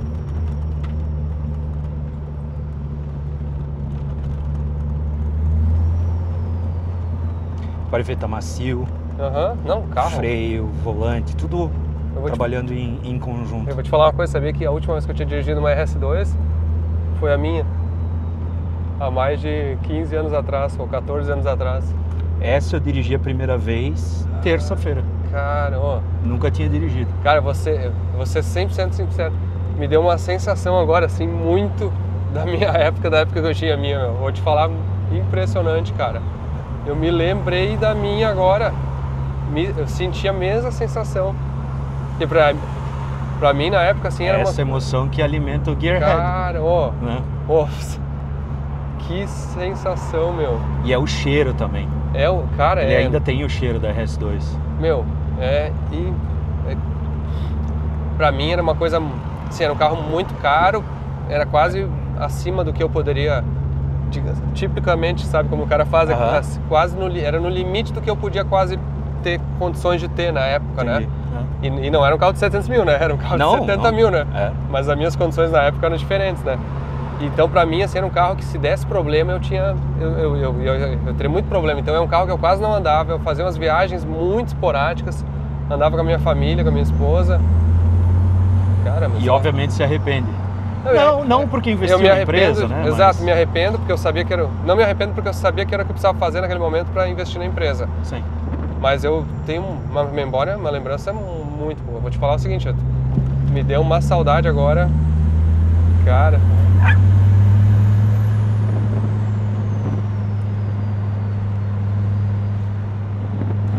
Tô muito curioso pra ver a pegada dela. Uhum. Fica à vontade.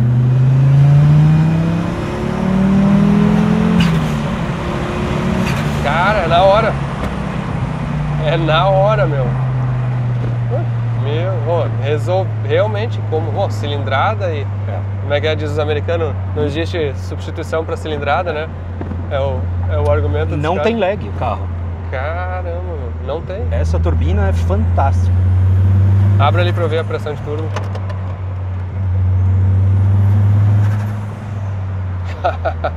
e dá um tchu tchu tchu tchu tchu que, é muito legal. Posso sair uma de primeira não parada, mas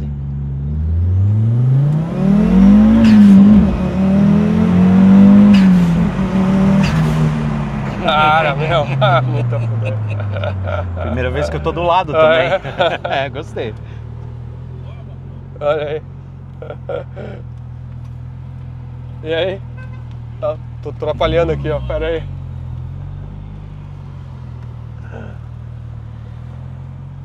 Tá no. Tá no vermelho ainda.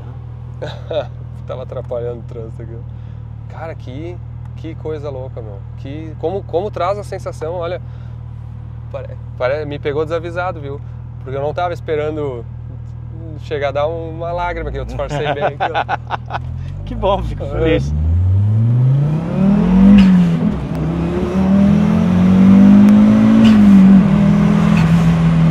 É muito, muito, muito, muito, muito suave. Realmente um carro. Parece que foi feito pela Audi. não, melhor, eu acho. É? Cara, Mas eu digo, uma marcha entrando atrás da outra Aham. perfeitamente. câmbio é o muito mesmo gostoso, torque né? previsível, a potência crescendo. cara, eu, eu vou ter que arranjar uma. Olha lá, tá em 2000 Aham. e já, ó, já tá saindo empurrando. Aham. Meu, não sei como, mas eu vou ter que ter uma, uma, uma dessas de volta. Até eu te digo assim, ó. É, é, é claro que é um conjunto, é o chassi, é o carro, é o banco, é. Mas o motor e o câmbio é uma coisa muito especial nesse carro, né? Esse é. Esse carro, assim, esse 20 válvula 5 cilindro turbo, assim, é uma construção que a, que a Volkswagen, a Audi no caso, fez, né, junto com a Porsche, assim, o som do motor. Bom, E, e esse câmbio original, ele vai até 980 cavalos de motor, sem Sim. precisar mexer. ah, que negócio, cara. Que negócio legal. Ah.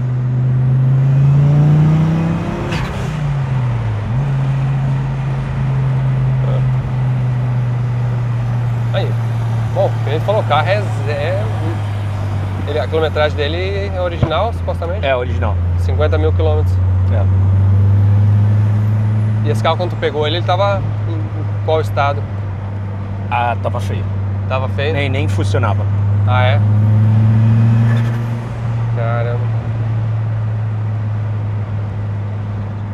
Não, o, o som do motor é. Meu, como é que é o escapamento dele? Escapamento todo em 421 e feito customizado para esse carro. Qual que é a diferença do 421 e do 304? 421 é mais resistente quando quente. Ah. E tu, é, tu que é o tu, entendedor assim profundo de muitos assuntos, tu sabe a diferença, por exemplo, do escapamento de titânio para o escapamento de inox e assim as ressonâncias e por quê? O porquê eu não sei, mas uma das coisas é que, como ele é muito mais forte, ele consegue ser muito mais fino. Ah, sim. Então isso dá o som característico mais agudo. Porque uma coisa que eu aprendi com o escapamento é cada metal e espessura tem uma, uma ressonância e uma absorção, Isso. né? Então a, a ressonância pode ser prejudicial porque ela ressona numa frequência que não te interessa ou ela pode ser benéfica É. se ela ressonar numa uma, uma frequência que é interessante, né? E às vezes tem escapamentos que tu às vezes escapamento de aço carbono que ficam com um som mais legal do que inox, por exemplo, dependendo como é que foi feito. É. Cara, e o motor é gostoso, assim, eu, achei, eu ia ficar na, eu fiquei na dúvida, porque ele tem um virabrequim de curso, né? Uhum. Acima do 2.5, né? É, o virabrequim- 2.63. Mas o não é o original da diesel, né? Ah, não, não. Ele é um... Não, ele foi feito só para esse. Exato, esse então projeto. eu achei que ele poderia ter alguma questão de...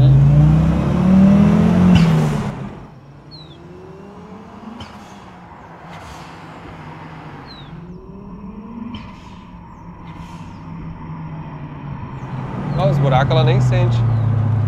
Não, essa suspensão a gente fez o upgrade para Olens e é adequada pro para pro meu irmão aí, pro uso dele. Cara, ó, copiou ali, ali você tem um carro com uma suspensão, Eu acho que tu tem que dar mais uma volta. eu também acho. Ele, Porque ele foi muito filmar ali, na verdade. Que eu tô gostando de estar aqui do lado também. É a primeira vez?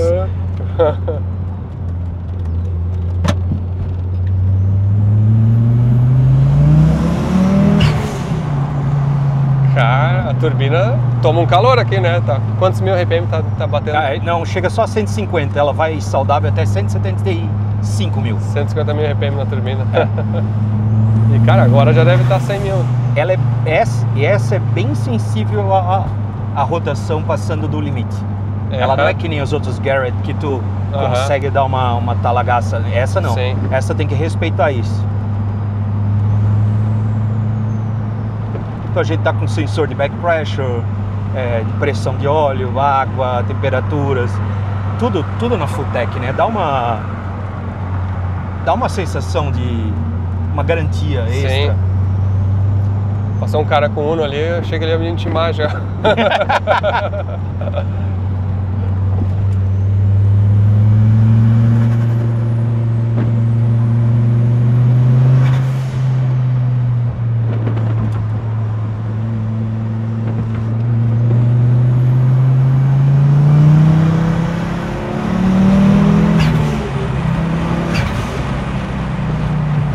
Muito legal. Cara, 14 anos depois estou andando de novo numa. Ó, E, e com tudo dá mesmo, assim, de Tudo, grana. é. E eu vou dizer, é, eu já, eu já andei, eu vou- corrigir, eu já andei em S2 nesse período, assim, até Uhum. mais forte, mas, a, mas o lag, obviamente, muda a sensação, né?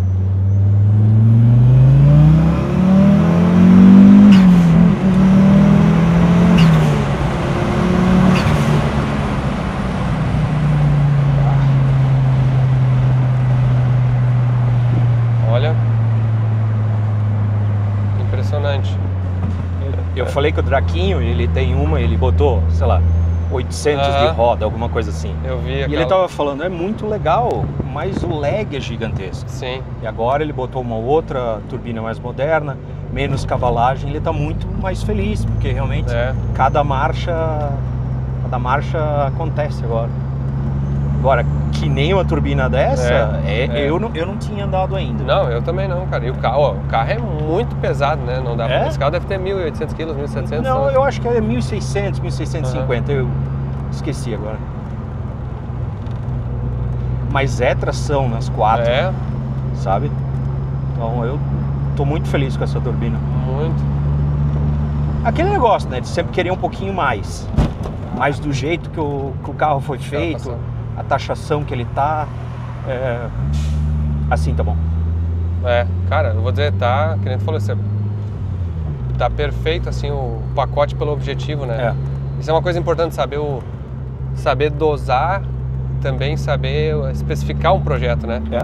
Muita gente faz um, decisões, às vezes a gente faz decisões erradas e, e isso ali acaba ah, não deixando o cara curtir o projeto, né? Essa é a quarta turbina desse carro. E a quarta embreagem também.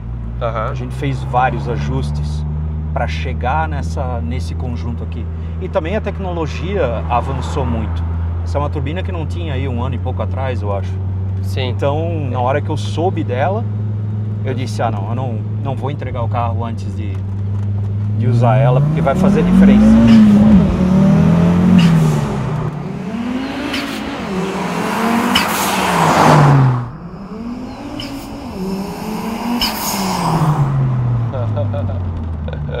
Top.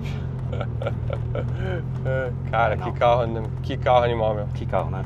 Eu tenho que te falar assim, ó. Obrigado por me proporcionar esse, É um essa sensação de verdade mesmo, assim, ó. Não é. Não é Talvez eu gostei muito- mais do que tu É. mesmo estando aqui do lado. Cara, eu gosto. Assim, ó, foi muito, muito importante memória emocional de lembrar daquela do meu carro e, e, e sentir tudo isso, sabe? Bom, Tens que fazer um projeto com alguma tração nas quatro e um motor 5 cilindros agora. Cara, eu vou ter que fazer. Eu acho que acho que tu tá certo. meu, impressionante. Cara, muito obrigado. Prazer. Valeu mesmo. Valeu, Valeu. mesmo. Valeu. Agora, agora vou acabar o sábado hoje aqui, ó, com sucesso, missão cumprida e eu vou, vocês vão acompanhar agora o lançamento do livro que vai ser no domingo. Que eu tô muito ansioso também, tô, confesso que eu tô nervoso, ansioso no sentido bom de, de ver como é que vai ser o evento. E obrigado de novo por estar comparecendo Ah, aí é um prazer. e trazendo teus carros aí pro pessoal, acho que todo mundo vai curtir muito aí. É, Eu aprendi bastante aqui nos poucos dias que eu tava aí. Legal, vamos lá.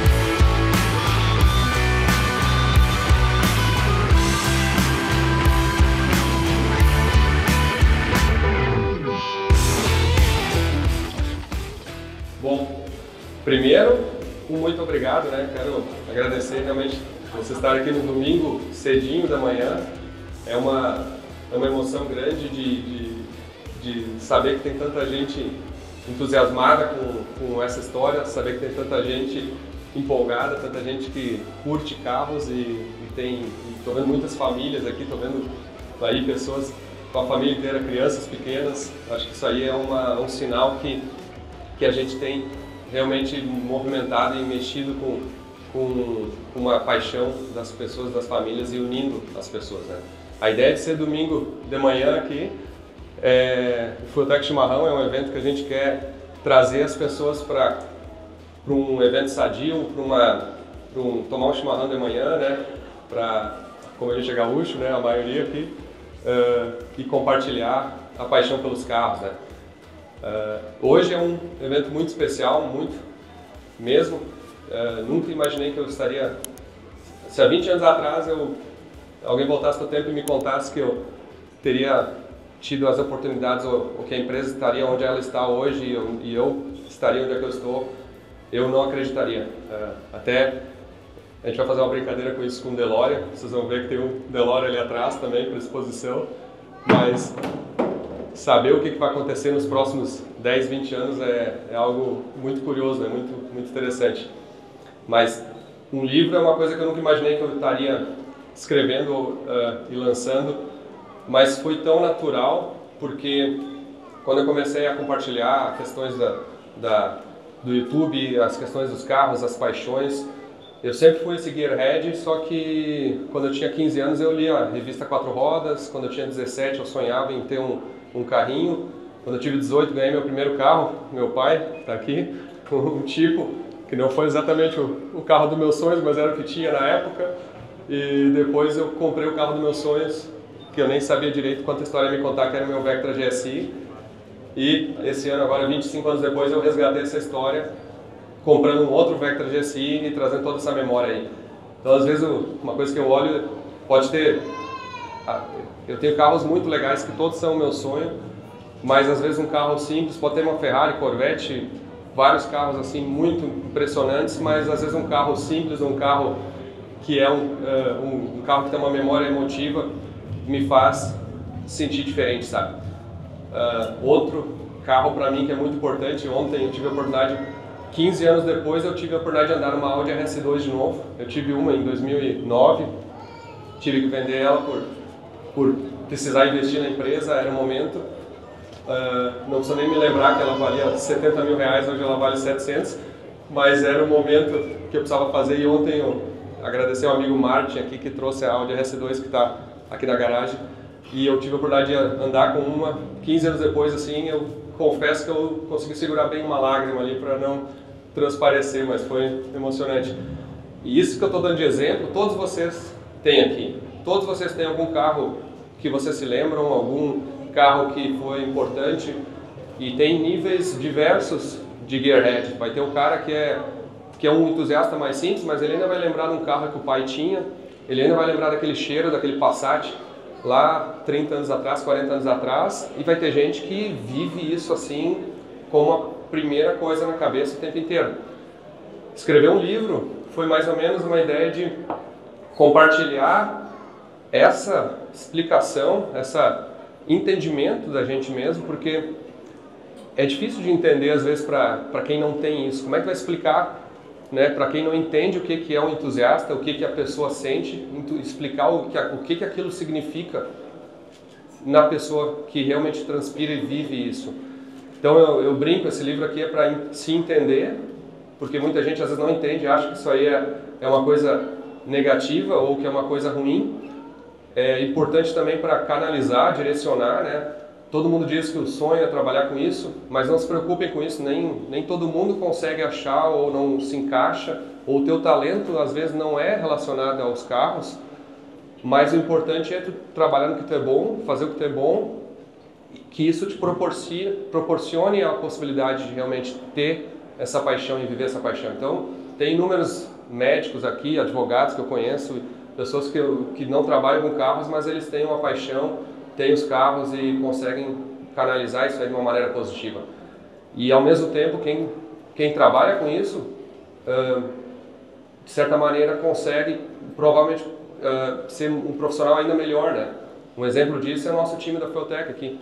Nós temos aí 203 colaboradores aqui na Feltec Brasil, eu estou vendo muitos deles aqui, uh, e provavelmente a maioria deles é um entusiasta em vários níveis de, de, de carros.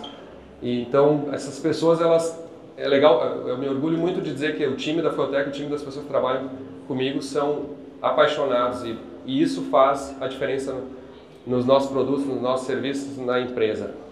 Então, a ideia foi, eu quero fazer um agradecimento ao Evandro Lima também, que foi o coautor do livro e potencializou, possibilitou a, a, a, criação desse material. Foi um livro que a gente veio escrevendo ao longo de dois anos. Uh, foi uma brincadeira do Luiz, do, do design, aqui um amigo nosso, que, um funcionário nosso que, que é muito criativo, fez um livro, uma capa, aquele mil e uma desculpas para comprar mais um carro. E aquilo a gente botou há dois anos atrás, ou três anos atrás, e muita gente diz, não, tinha que escrever mesmo, e, e eu botei aquilo na cabeça e, e fiz. Então, é uma colaboração realmente é, inclusive interna nossa da editoração, da, da, escritura. As fotos que tem aqui são fotos reais, assim, fotos realmente de emoções. Todas as fotos têm alguma alguma coisa por trás, sabe? Tem foto até minha de criança aqui quando minha mãe botava muita roupa, estava brincando. E, e, então, ou seja, é, é, realmente uma é um misto de pro entusiasta automotivo, mas eu também digo o seguinte para vocês aí que tem um sonho de comprar um carro ou buscam aquela, resgatar aquele sonho, deem esse livro para a esposa aí para ver se ou para a família, talvez vai ajudar ela a entender um pouquinho quão importante para vocês é isso. E uma coisa eu digo, quando o cara tem um sonho, ele corre atrás, o financeiro a gente dá um jeito, né? Obviamente não vamos fazer loucuras assim que tirem o leite de casa para fazer para realizar o sonho, mas normalmente se o cara correr atrás, trabalhar mais duro, ele vai conseguir realizar esses sonhos. E, e de novo, eu estou falando pode ser um pode ser um Passat de 10 mil reais, pode ser um carro de milhões, não importa o tamanho do sonho. O importante é a, o valor desse sonho para cada um de vocês. Então essa é mais ou menos a mensagem do livro, é uma forma que, eu, que eu achei que seria útil e relevante para as pessoas para realmente incentivar. Eu, eu, eu, gosto muito de escutar as histórias assim das pessoas que de alguma maneira eu consegui contribuir, uh, aquelas minhas frases que nem sempre foram pensadas, mas acabaram virando motivação para as pessoas. Desde aquela hold mais chimarrão, né, que foi a brincadeira quando eu fui bater o recorde do, de potência com Corvette. Uh, quanto a uma outra que eu acho que ajudou muita gente, que é se está com medo, vai com medo mesmo, né? Eu acho que a gente, poucas pessoas entendem o quanto é, o medo ele é benéfico para a gente. Porque o medo é basicamente o nosso filtro, a maneira como o, cérebro nos protege de cometer um erro. Mas a maioria das pessoas, inclusive eu, demora muito tempo para entender lidar com o medo. E, as, e o maior erro é entender que tem que passar o medo para tomar uma decisão. E isso não é verdade. Todo mundo que precisa fazer uma decisão importante, precisa fazer alguma coisa na vida, vai ter medo naquele momento. É uma sensação normal e 100%. Se não tiver medo de nada, aí sim vocês precisam de ajuda, porque aí, aí tem alguma coisa realmente errada. E, e uma outra mensagem que eu gosto de passar é, é quando vai, vai buscar fazer alguma coisa não é tentar para ver se dá certo, é fazer até dar certo. Tem uma grande diferença na ordem dessa frase. Muitas, muitas pessoas não têm a persistência de continuar e eles confundem com teimosia, até porque todo mundo em volta, quando não está dando certo, vai te dizer que é teimosia. Só que quando tu consegue, tu é um gênio. Então, é uma diferença tênue entre teimosia e persistência. É importante entender isso. Quando a pessoa começa a entender essas, esses, esses sentimentos, começa a ter um, decisões mais assertivas nas pequenas coisas e, obviamente, as grandes coisas vão ser muito mais adequadas. E, e tudo que eu estou falando aqui não, não, precisa nem ser entusiasta de carro, porque o cara pode ser um entusiasta de caça, pode ser um entusiasta de, de coleção de, de figurinhas, sabe? Pode ser uma pessoa que tem uma ligação com inúmeros outros tipos de, de hobbies o hobby em geral, no nosso caso, no meu caso, os carros, é muito importante para cada pessoa. Se o cara não acordar de manhã com alguma coisa na cabeça que ele quer fazer, seja em curto prazo ou longo prazo, me desculpe, mas esse cara está morto. E, então, assim, tem que achar alguma coisa que te motive, alguma coisa que te faça correr atrás todo dia. Isso é o segredo da vida. Então, eu acho que é a mensagem é essa. Quem, quem não for ler o livro provavelmente já entendeu mais ou menos. E eu gostaria muito também de oferecer isso para vocês. E, e, essa é o meu também presente. Isso. Agradeço de verdade a presença de todos vocês aqui. Então, agora eu vou estar disponível aqui, eu vou estar uh, conversando com vocês, assinando. A gente está tentando organizar de uma forma mais eficiente possível. Agradecer também ao São Pedro aí pelo tempo que está colaborando, inclusive com esse nubladinho.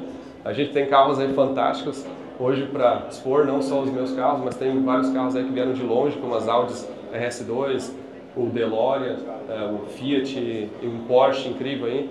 Uh, presenças ilustres aqui, que se eu for citar todo mundo que eu estou vendo aqui, eu ia ter que gastar mais uma hora aqui, mas obrigado a todos, sintam-se agradecidos individualmente também. E que tenham, que curtam o evento aí. Muito obrigado.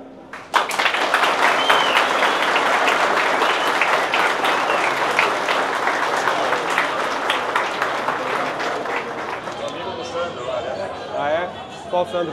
Ah, o do, do Authentic? Puta merda! Pior assador do mundo.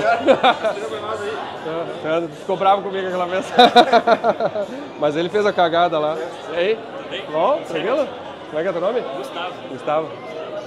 Muito prazer. Valeu. Valeu. Valeu, cara. Um abraço aí. Ó.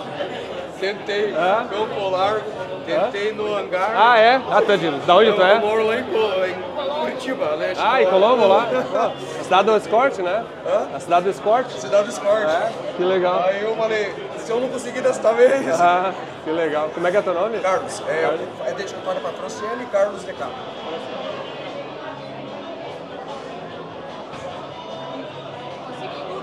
Conseguiu, tinha um que vim a casa logo. Que legal. Ah, e o tempo tá ótimo também aqui. Aí pegamos alguma chuva no caminho. É, aqui, né? E aqui também choveu bastante. Obrigado. Você já pediu muito? Ah, claro. Eu consegui trazer a Onde é caixa. que quer? Aqui? Hã? Que carro tu tem? Tem uma caravan, tem uma moto que vou comprar um chicote pra pôr. Ah, é? Tá, que tri. Que tri. É um prazer. Valeu. Valeu, Tira obrigado. foto depois ou não? Pode tirar agora se quiser. Valeu, tô Aí, ficando acordado valeu. nessa viagem. Valeu, obrigado. Que carro é esse? É uma Willys picape. É mesmo? Ó, que legal. Tem uma FT450, uma Nano Pro. Valeu.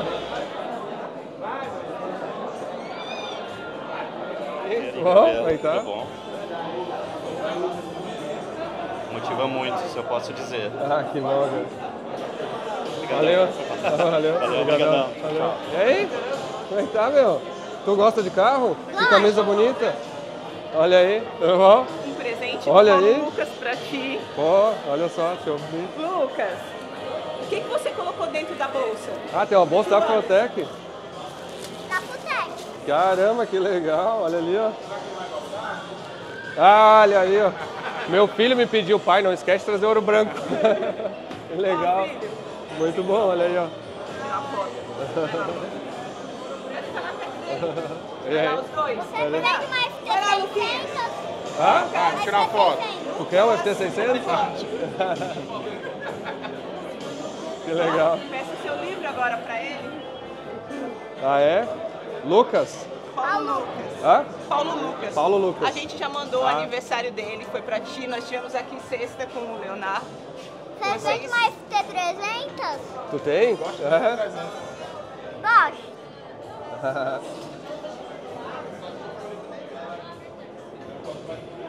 Ó, quando tu for grande e tiver teu carro de corrida, tu vem falar comigo e tu me mostra esse livro, tá bom? Fala pro tio Anderson onde você quer trabalhar. Na Futec. Tá bom. E aí tu vem falar comigo, tá? Que legal, meu. Parabéns. 3 mil quilômetros, Anderson. É? Caramba. Cruzeiro de Fortaleza. Vier de Fortaleza. Ó, que legal. Espero que curtem aí, que seja muito bom. Eu, eu quero dar uma tua Ferrari. Ah, essa já é mais difícil hoje. Dá um abraço. Vamos fazer uma foto aqui com a mamãe? Aqui, ó, gente. Lucas, olha lá, ó. Obrigado. Valeu, valeu. Anderson, muito Não, obrigada, valeu. viu? Valeu, cara. Tchau. Isso. E aí? Finalmente, Ah, pessoalmente. valeu. Ó, vai lembrar provavelmente, já mandei pra ti. Ah, é uma, aham, o Brava. Tava indo no casamento com a esposa. Que legal. Ah, Queria que tu assinasse esse aqui pra um amigo meu, Lucas. Pode ser atrás também, não tem Tá. problema. Agora eu vou ter que me puxar a ler esse livro. É eu não sou muito da leitura, mas agora vamos ter que ler. Nem eu, cara, sabia? Mas tem que ler se gostar, entendeu? Não adianta se... se, se... Posso bater uma foto Claro. com a esposa aqui? Claro, senão, claro. se não fosse ela, nós não ia estar Não, muito... claro. Valeu. Muito obrigado. Obrigado. Não precisa de flores, é só Ah, é? ele gastar com dele, eu posso gastar com Olha aí, ó. Melhor ainda, hein? Só custa mais caro, hein? Oi? Tudo bom? Ah, é? Ah, é? Ó. Claro. E aí? Tudo bom? Família Catarina Motos. Isso. Sou teu fã e no fim ela acabou também virando. Que legal, meu. Obrigada. Eu que agradeço. Obrigado. Vamos?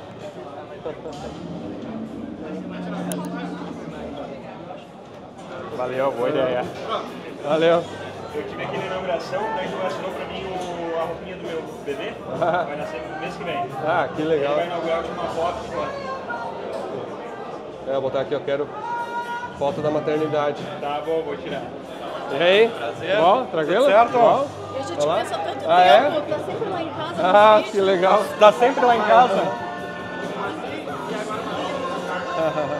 Até bom. falei que hoje tu vai lá em casa, porque eu Aí, não ó. assisti o vídeo de ontem ainda. Tá então bom. hoje à tarde tu vai lá em casa com a gente, lá em Pelotas. Ai, que legal, vieram de lá. Viemos de lá, saí de cedinho É. hoje pra prestigiar. Que legal. Como é que é teu nome? Eu vou te pedir um favor, Ah. escreve o mantra aquele, a Qual frase deles? aquela, se tá com medo. Aham. Cara, eu ouço muito, é, eu ouço isso muito, sabe, assim, então agora eu vou poder ler, Aham. escrito por ti, vai ser demais, né? Mantra diário. Isso aí. Como é que é teu nome? é, vou ter que soletrar, velho, é, É. Ga- Gadrian, G-H, Drian, Drian, D-R-I-A-N. Assim? Isso aí, show de bola. É o nome estranho que interage contigo no Ah, Instagram, tu já até tá bom. respondeu. É, cara, se eu te mandei da formiguinha com um buquê de flor, Ah. você- Tá, tá difícil a situação. cara, Sucesso, tá? Tá bom, obrigado. cara, sucesso Valeu, mesmo. Valeu. Aí. Show de bola. Valeu, cara. Valeu. Obrigadão. Cara, Obrigado. Valeu, cara. Vou tentar Valeu. pegar de todo mundo aí na assinatura. Boa, boa. Aí. Como é que é teu nome? Lucas. É o nome do meu filho. Ah, é?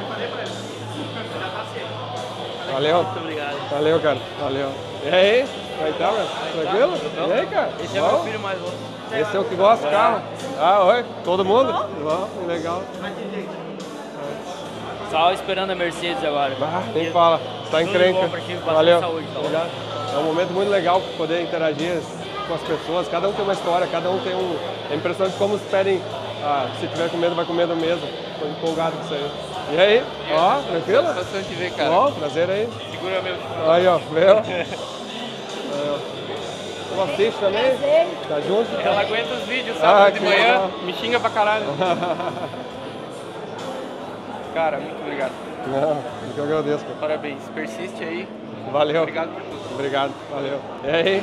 Beleza? Cara, eu não te vejo desde o São Luís. Ah, é? Tu estava lá? Sim, Como é que é teu nome? Ah, Desde sério? então. Que legal. Mandou um abraço, Pô, sucesso. cara, o Adelmo nos encheu o saco, nos apertava, mas foi muito bom, cara. Ele era o cara. Ele não conseguiu vir, né? Aham. Ele pediu pra deixar um abração. Pô, deixa eu fazer uma dedicatória pra, pra vocês aí, ele. Tranquilo. Cara, que legal, meu. Pô, Bom te rever, cara. Ainda mais sucesso aí, né? Foi- Posso fazer pra ele ou pra Claro, tipo- Pode ser pros dois. que legal. Cara, um Manda um abraço pra ele mesmo. Ti, a Diane também, os guris, Valeu, valeu. os sogros lá, eu vi que teu pai e tua mãe também. É, aqui, então, é, toda a deixa eu turma. lá cumprimentar eles também. Que legal, bom te Cara, ver, manda um abraço pro teu pai lá. Valeu. Fiquei feliz de ver vocês aí. Ah, tudo bom? imagina, obrigada. Olha esse É, sucesso, viu? não, Fiquei que bom. pensando que baita Que legal. Pois é, Legal não, obrigado. conhecer, tá? Obrigado por ter vindo. Parabéns Tá bom. pelo evento, a gente vai indo já. Tá, obrigado, bom? obrigado. Manda um abraço pro Wilson. Tá bom, valeu. Beleza? Oi, Tranquilo? Bom? Aí, ó. Como é que é teu nome? Daniel.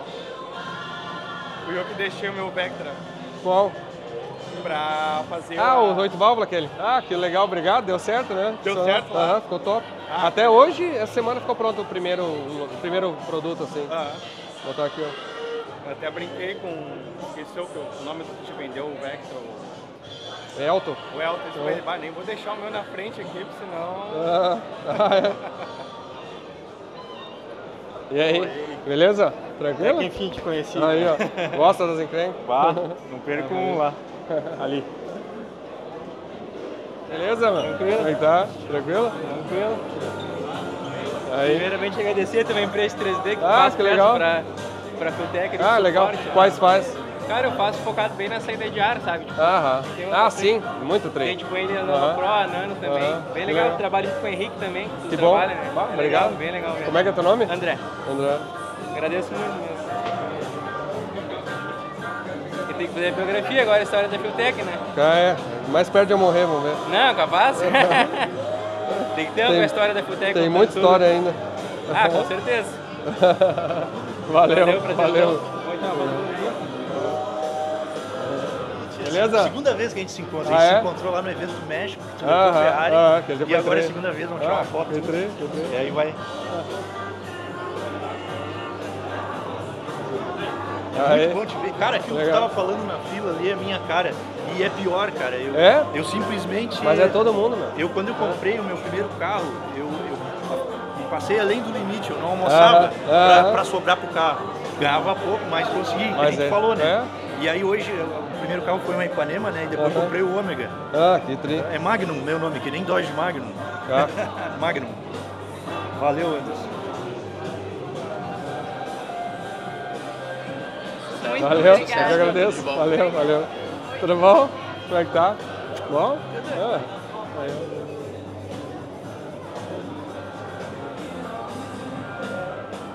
Muito obrigada. Obrigado, valeu. Valeu. E aí? Bom, meu? Tranquilo? Parabéns, viu? Valeu, cara, valeu. Sou teu fã. Muito teu fã. Tem uma encrenca não? Tem. O que que tem? Chevette. Ah, isso aí, ó. Motor Chevette. Eu ia dizer, o HC mesmo? Oi, Oi, tudo bom? Minha esposa, minha filha. Ah, tudo bom? É. Caramba, olha aí que legal, mano. Ah, e o turbinão pra fora ali ainda. Acertou, hein? Quero que tu assine ele pra mim, né? Ah, tá assinado aqui. Que legal, vamos tirar uma foto aqui.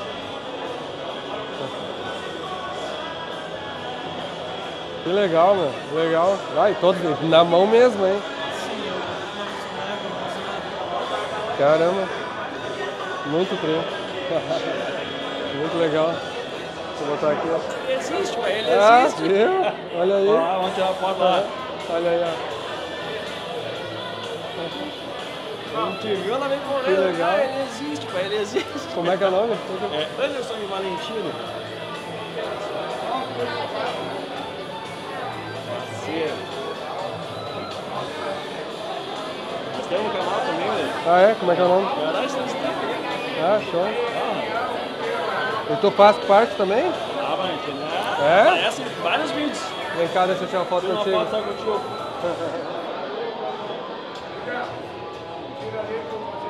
Quando tu ficar famosa, depois tu vem falar comigo, tá? Que legal, meu. Parabéns, hein? Prazer. É, tem talento. Valeu. Aí, Vânia. Eu trouxe pra ele leve, viu?